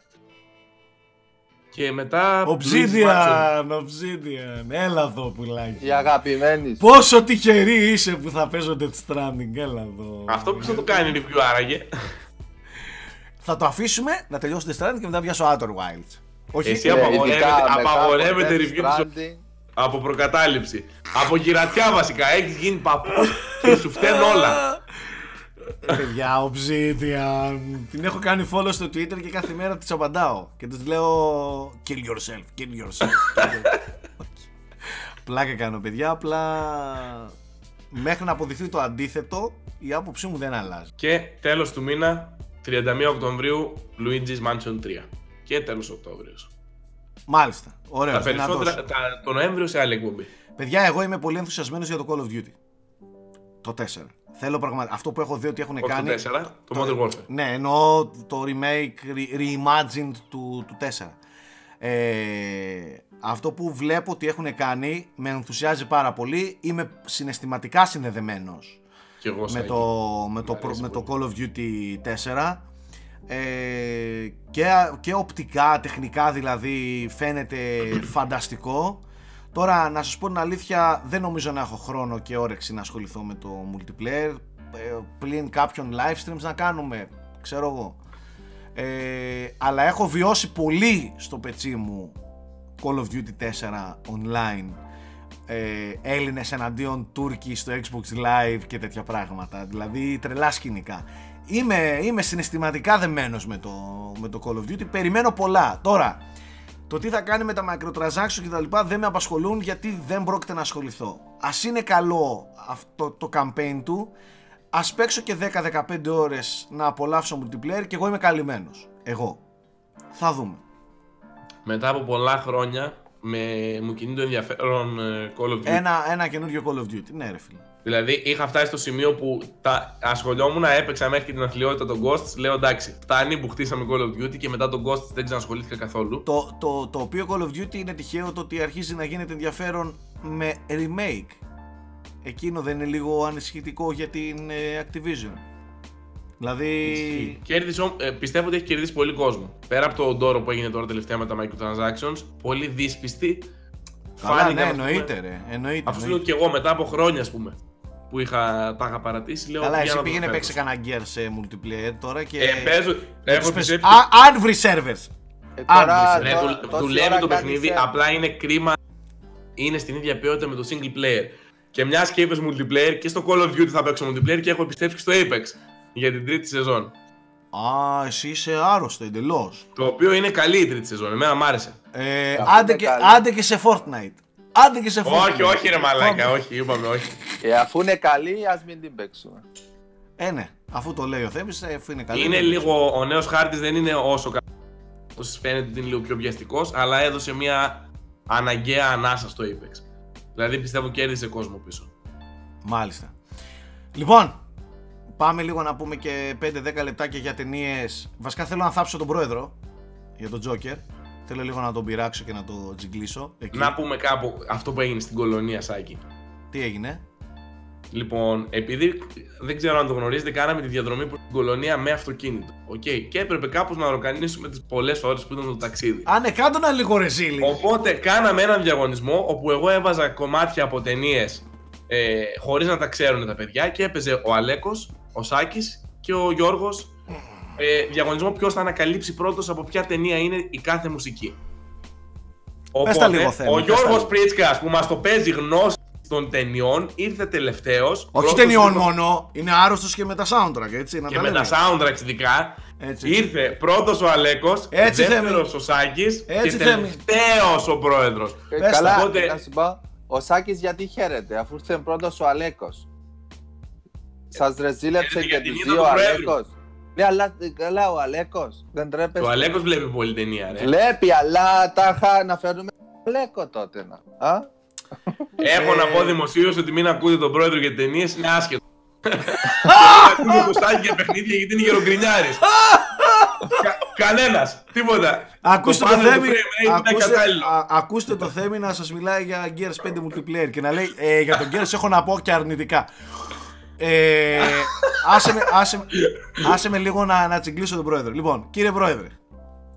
να- Μια δήλωση γιατί θέλω, δεν- θέλω να δεν- μου πείτε, θέλω να μου Δεν πείτε θα μπω καν στον κόπο να σχολιάσω ούτε να υπερασπιστώ τον εαυτό μου σε, αυ- σε αυτό το, το ταγελαφικό τσίρκο που έγινε σε εκείνο το αμάξι. το, το, το οποίος υπεύθυνος είναι μοναδικός αυτός, αυτός εκεί. Αυτός εκεί που δεν ξέρω τώρα, δεν βλέπετε που δείχνω. Αλλά αυτός που είχε το θράσος να πει και την ιστορία τώρα, κατάλαβες. Που, που, που, παίζαμε, που παίζαμε ακούγοντας Rocky Balboa και, και, Και έπρεπε να προλάβουμε ποιος και που Star Wars, ναι, είναι. ναι, και να προλάβουμε, λες και, λες και είμαστε δεν ξέρω κι εγώ τι, λες και παίζουμε Jungle Rock, όχι Jungle Speed. Τέλος Ναι. πάντων. Α, Για τον άσε με Joker να- τώρα. Όχι, δεν θα πεις για τον Τζόκερ, εγώ θα σου πω, θέλω να σε τσιγκλίσω. Α, οκ. Θέλω να μου πεις πώς αισθάνεσαι και πώς κοιμάσαι τα βράδια, ρε κάθαρμα. Ρε εσύ είχαμε τη κοινωνία, ρε κατακάθι της κοινωνίας εσύ, που είπες που δεν εκθέσεις τον Τζόκερ. Ποιος νομίζεις ότι είσαι ρε μαλάκα; Ποιος, ποιος νομίζεις ότι είσαι; Εντάξει, είσαι ο πρόεδρος, είσαι αυτό, εκείνο το άλλο. Ποιος είσαι εσύ που έχεις διαφορετική άποψη και δεν σου άρεσε τον Τζόκερ; Ποιος είσαι ρε μαλάκα, λέγε. Κοίτα, το, το κορυδεύει, αλλά εδώ ζούμε, ζούμε σε, σε έναν κόσμο που εκφράζει άποψη για σινεμά ο Σκοτσέζε και πάνε και το δασκαλεύουν από κάτω. και λένε ποιος είναι αυτός, ποιος είναι αυτός ο γέρος; Who the fuck is that guy γράφανε. τα, Αμερικάνια, τα Αμερικανάκια γράφανε Who the fuck is that guy; Καταλαβαίνεις Ε, δεν τώρα. ξέρω, ρε παιδιά, αλλά Και αν εντάξει τους τώρα. πεις ασχολείσαι με σινεμά, θα σου πούνε. Ναι, ναι, ναι. Εννοείται, τέλος πάντων.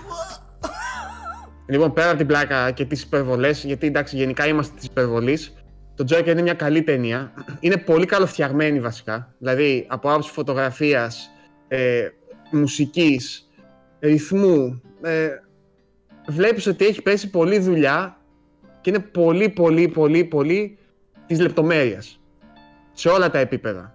Δεν είναι δηλαδή ούτε προχειροφτιαγμένη, ούτε κάποια παραγωγή, τι να πω τώρα, που φαίνεται σαν εταιρείας, ξέρω εγώ. Φαίνεται όντως σαν σινεμά ενός καλλιτέχνη, να σου το πω έτσι. Και είναι και αυτή η ερμηνεία του Joaquin Phoenix, ο οποίος, παιδιά, είναι, είναι συγκλονιστικός. Κουβαλάει όλη την ταινία, σε κάνει να νιώθεις τα πάντα και σε κάνει να βιώνεις όλη την ταινία με πολύ μεγάλη ένταση.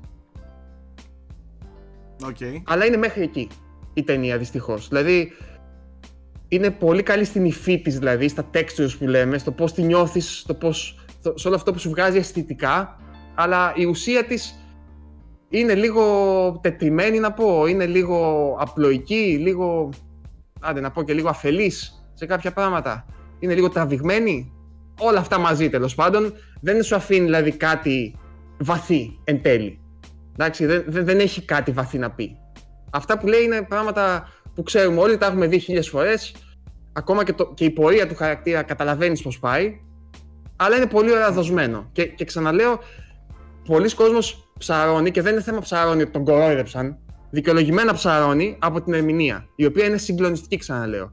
Και κάνει όλη την, την εμπειρία της ταινίας να φαίνεται καλύτερη από ότι είναι σεναριακά, να σου το πω έτσι. Αυτό αποδεικνύει πόσο σημαντικός μπορεί να γίνει ένας ηθοποιός και ένας ρόλος σε μια ταινία. Δηλαδή πόσο τελικά μπορεί να κουβαλήσει ολόκληρη ταινία και να επηρεάσει και τον κόσμο μια πάρα πολύ καλή ερμηνεία, έτσι.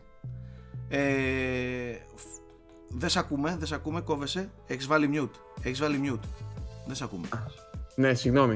Ε, λέω κακά τα ψέματα, με ανθρώπους συνδέεσαι, με τον ηθοποιό συνδέεσαι. Δηλαδή, πάντοτε γι' αυτό και οι ηθοποιοί ήταν τα πρώτα ονόματα ουσιαστικά. Οπότε, σε ένα πρώτο επίπεδο η ταινία λειτουργεί τέλεια. Γι' αυτό και νομίζω έχει αποσπάσει και τόσο θηραφικά σχόλια από το κοινό. Όχι τόσο από κριτικούς. Εγώ πρώτη Α, φορά και- είδα κόσμο μέχρι και Instagrammers να λένε πηγαίνετε δείτε τι έπαθα σοκ, ας πούμε. Αξίζει, Ε. παιδιά, αξίζει να το δει. Εγώ δεν λέω το αντίθετο. Αξίζει και θα πας να βιώσεις δύο ώρες στην τζίτα. Και θα, θα βγεις και θα πεις τι έκανε ο άνθρωπος, τι ερμηνεία είναι αυτή, τι ταινία έχουν φτιάξει με την έννοια της- του κατασκευαστικού της ταινίας. Οκ, ναι, κατάλαβα. Ναι, αλλά από εκεί και πέρα, αν κάτσεις και, και λίγο το αναλύσεις, ας πούμε, λίγο δεις τα θέματα της, τι, τι, τι προσπαθεί να θίξει, τι προσπαθεί να πει, έχει αντιφατικά πράγματα, είναι λίγο... Εντάξει, είναι, δεν θέλω να μπω σε spoilers συγκεκριμένα τώρα, αλλά αξίζει να γίνει μια κουβέντα όταν τη δείτε κι εσείς και έχει περάσει λίγος καιρός, αξίζει να, να, να κάνουμε μια κουβέντα μιλώντας όντως με σκηνή σκηνή, ας πούμε. Εγώ είμαι πάντως πολύ ενθουσιασμένος για αυτό Ε. που θέλω να δω, ας πούμε. Πιστεύω θα σου αρέσει πολύ. Είναι μια ταινία που είναι τελείως στα vibes σου. Δηλαδή είναι σκοτεινή, ε, ίσως εξοντωτικά σκοτεινή, κατά τη γνώμη μου. Είναι εξοντωτικά απεσιόδοξη, ας πούμε, η ταινία. Πω, πως άξι Έχει- καρπάς. ναι, έχει, έχει εκρήξεις που δεν περιμένεις, αλλά ξαναλέω, είναι, είναι κάποιες στιγμές νιώθεις ότι ίσως είναι τόσο σκοτεινή για να είναι σκοτεινή, ας πούμε, κατάλαβες; Δηλαδή δεν, δεν έχει κάτι να κάνει με αυτό το πράγμα.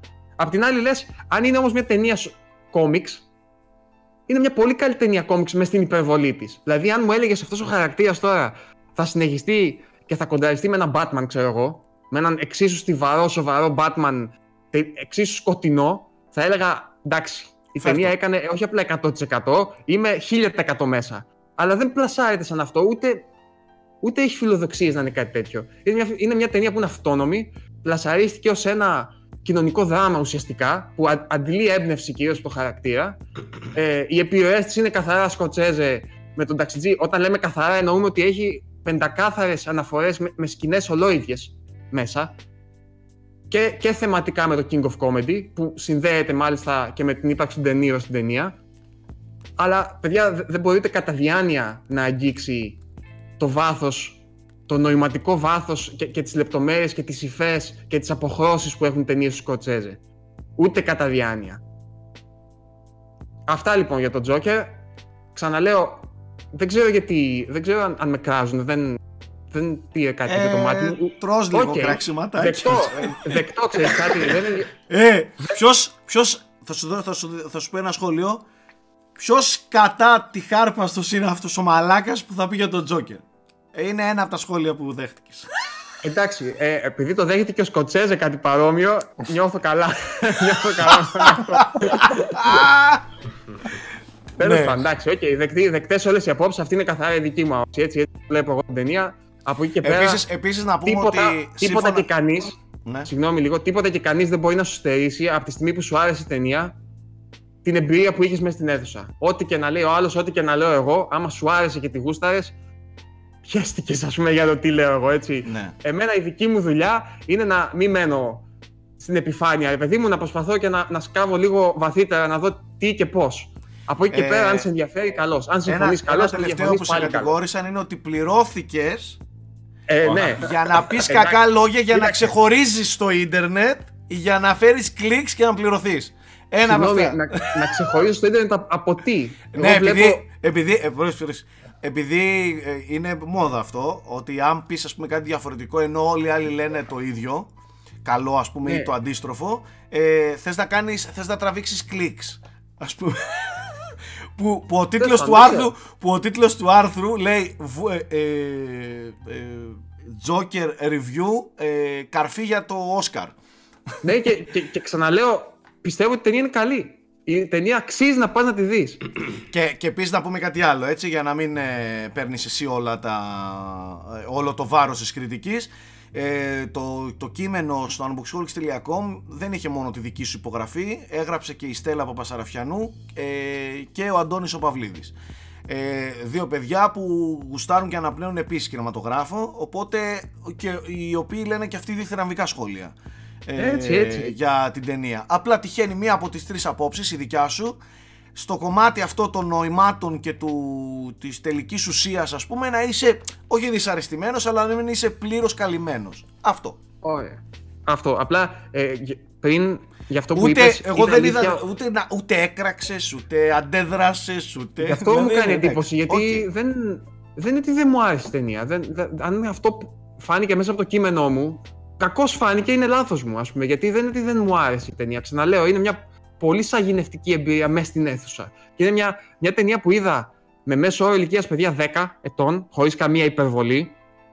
Είναι ναι. τραγική εδώ πέρα. Νόμιζαν ότι θα δουν Batman, μάλλον. Δεν ξέρω γιατί ήρθανε.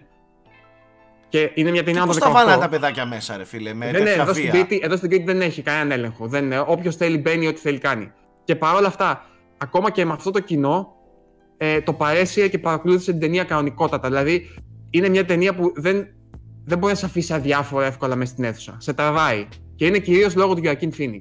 Εντάξει, έχει τέτοια ένταση ας πούμε, η παρουσία του κάθε φορά που είναι στο πλάνο που δεν μπορείς να πάρεις τα μάτια σου. Εντάξει, τώρα μιλάμε και για μεγάλο ηθοποιό τώρα. Δεν είναι ναι, ο τύπος ναι, είναι μεγάλος ηθοποιός, παιδιά. Και για να ολοκληρώσω που πήγα να πω πριν και να κλείσω την παρένθεση, γενικότερα όταν έχεις να κάνεις με κριτική ταινιών ή να πεις άποψη με ταινίες που ξεφεύγουν σε δημοτικότητα, στο το πω έτσι, ε, όποια μεριά και να πάρεις, κάποιος θα σε κράξει, ας πούμε, δεν γίνεται. Ε, είτε ναι. πάρεις, είτε πεις είναι καλό και θα πεις Α, αυτός με τη μάζα ακολουθεί, είτε πεις είναι κακό, Α, αυτός θέλει τα κλικς.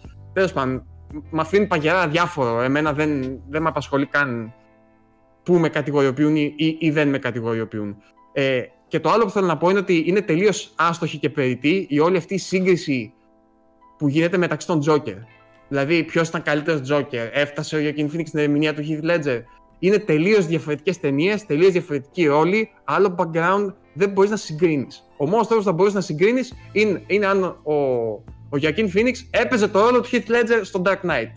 Δηλαδή, ξαναγινόταν η ταινία και βλέπουμε και τον Joaquin Phoenix. Τότε να πω ναι, OK, να συγκρίνουμε. Αλλά δεν μπορείς να συγκρίνεις τώρα μεταξύ τους δύο διαφορετικούς ρόλους σε δύο διαφορετικές ταινίες. Είναι και οι δύο εξίσου απίθανοι. Απίθανοι. Μάλιστα.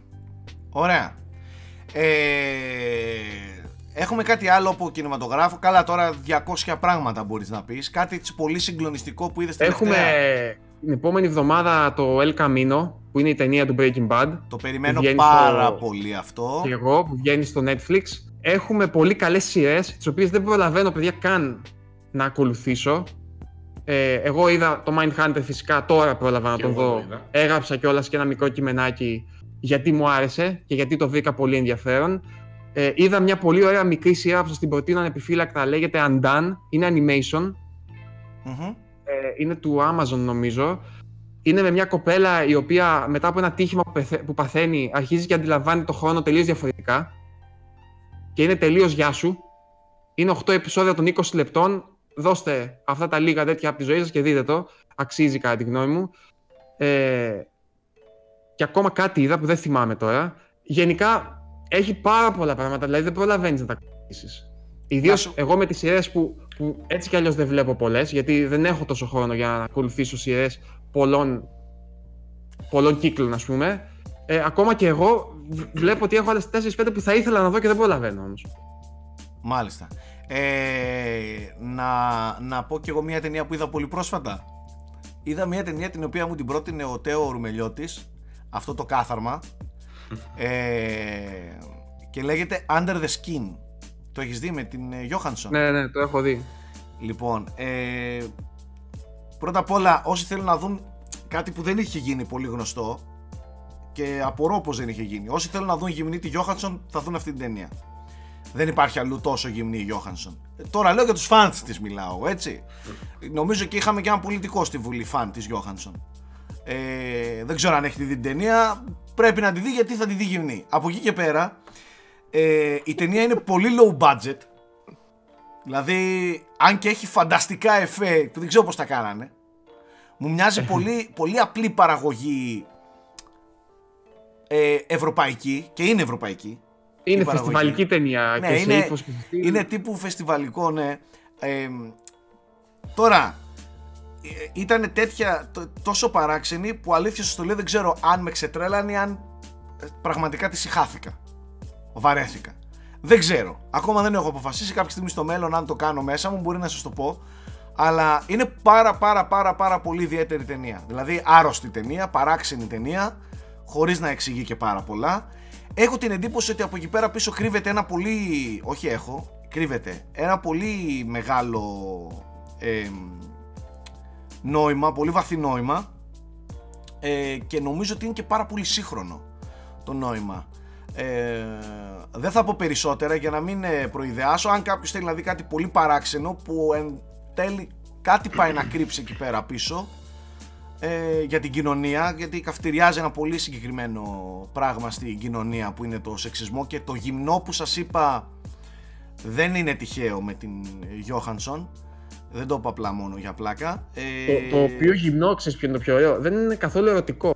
Καθόλου. Καθόλου. Ε, Παρ' όλα Καθόλου. αυτά, λες, θα δω ο Γιώργαν, ξέρω εγώ γυμνή, αλλά Κα, δεν- καθόλου, επίτηδες το Είναι είπα εγώ το- έτσι. Καθόλου, δεν έχει καθόλου. Εσύ το είπες για να πουλήσεις την ταινία. Τώρα ξέρεις, να ξέρεις. Σωστό, όχι, Στην- έτσι στην πουλήθηκε η Ελλάδα ταινία. οι έτσι προβολές κι θα αλλιώς. ψηθούν έτσι. παιδιά, εάν, ε, θα σας πω το εξής. Προσέξτε, τι θα πω τώρα. Παιδιά, δείτε αυτή την ταινία γιατί είναι πολύ ιδιαίτερη και έχει ένα νόημα ζωής. Πετάς, παιδιά, αν θέλετε να δείτε ολόγυμνη. Ε, να ξέρεις ότι υπάρχει κόσμο που έχει κάνει pause στην εκπομπή και έχει, έχει αλλάξει tab στο PC παιδιά, του. αν θέλετε να δείτε ολόγυμνη. ο- αλλά ολόγυμνη, με φανερά τα πάντα. Τη Γιώχανσον θα δείτε αυτή την ταινία. Τώρα, Αν θέλετε να δείτε και κάτι πολύ παράξενο, ε, δείτε και την υπόλοιπη ταινία. Τέλος πάντων, πάρα πολύ ιδιαίτερη για αυτούς που θέλουν εντελώς, μα εντελώς mindfuck, εγκεφα... καμένα εγκεφαλικά κύτταρα να δουν το under the skin. Αυτό. Ε, και από αυτή την ταινία έγινε γνωστή και η Μίκα Λέβη που έχει κάνει τη μουσική, η οποία έχει αποκτήσει πολύ φανατικούς οπαδούς. Δεν ξέρω αν σου άρεσε, σου άρεσε Σάκη, η Ε, μουσική. κοίτα, επειδή είμαι ηλίθιος, ε, ξέρεις ότι μου άρεσε. Ναι, επειδή ξέρω ότι σου αρέσουν τα, τα dark ambient που. Ναι, ναι, ξέρεις ότι έχει εγώ αυτό το αρρώσ... στυλ. αρρώστησα με τη, με τη Ναι, μουσική. ναι. αυτή τέλος πάντων κάνει έτσι minimal ambient soundtracks τα οποία είναι εκπληκτικά. Σας προτείνω να ακούσετε τη Jackie που έκανε πέρυσι. Το οποίο Άρρωστο. είναι για μένα ακόμα καλύτερο ας πούμε, από το Under the Skin. Ναι, ναι, ναι. Αυτό. Βάζω μια τελεία να, να μην συνεχίσουμε. Νομίζω ήδη το έχουμε παρατραβήξει σε αυτή. Δεν πειράζει, εντάξει, ήταν Είχα- μια... είχα- Σήμερα καιρό είμαστε να large, κάνουμε. είμαστε large. Πρώτη Είχαμε Μια καιρό. ώρα έχει που. Μια ώρα έχει. Ο Nike πιστεύω θα βγάλει μαλλιά σε λίγο. Αν αρχίσουμε και συνεχίζουμε να μιλάμε και μιλάμε για φεστιβαλικές ταινίες, πιστεύω θα βγάλει μαλλιά τώρα. Χάλια, έχει. Φεστιβαλικές, εντάξει. χάλια, είναι, χάλια είναι ο άνθρωπος. Λοιπόν, ε, αυτά. Έχουμε μια πολύ καυτή σεζόν. Καλά, δεν το συζητάμε το τι ξεκινάει από τον Νοέμβριο με, όχι μόνο με κυκλοφορίες και όλα αυτά που θα ξεκινήσουν με τις κονσόλες τώρα σιγά σιγά έτσι να σκάνε πράγματα, να Και σκάνε event έχει πληροφορίες. Microsoft τον Και τα Νοέμβριο. event. Έχουμε, Ναι, έχουμε ναι, events, έχουμε the Game Awards, δηλαδή έχει πολύ, πολύ ψωμί από εδώ και στο εξής. Και, και να δώσω και ένα μικρό teaser. Έχουμε και κλείσιμο δεκαετίας φέτος. Ω, ναι, έχεις δίκιο. Έχεις δίκιο. Μάλιστα. Λοιπόν, αυτά. Ευχαριστούμε πάρα πολύ για την παρέα. Περιμένουμε τα σχόλια σας από κάτω. Να κάνετε share αυτήν εδώ την εκπομπή γιατί πραγματικά πιστεύω ότι είναι η καλύτερη. Ότι καλύτερο κυκλοφορεί στο ελληνικό ίντερνετ, τουλάχιστον. Έτσι. Ε, για να μην υπερβάλλω, ας πούμε, για παγκόσμια και τέτοια. Δεν θέλω να γίνω από αυτούς. Αλλά τουλάχιστον για το ελληνικό είναι σίγουρα ότι καλύτερο έχει υπάρξει. Πλάκα κάνω, παιδιά, να είστε όλοι καλά. Θα λέμε την άλλη εβδομάδα. Γεια σας.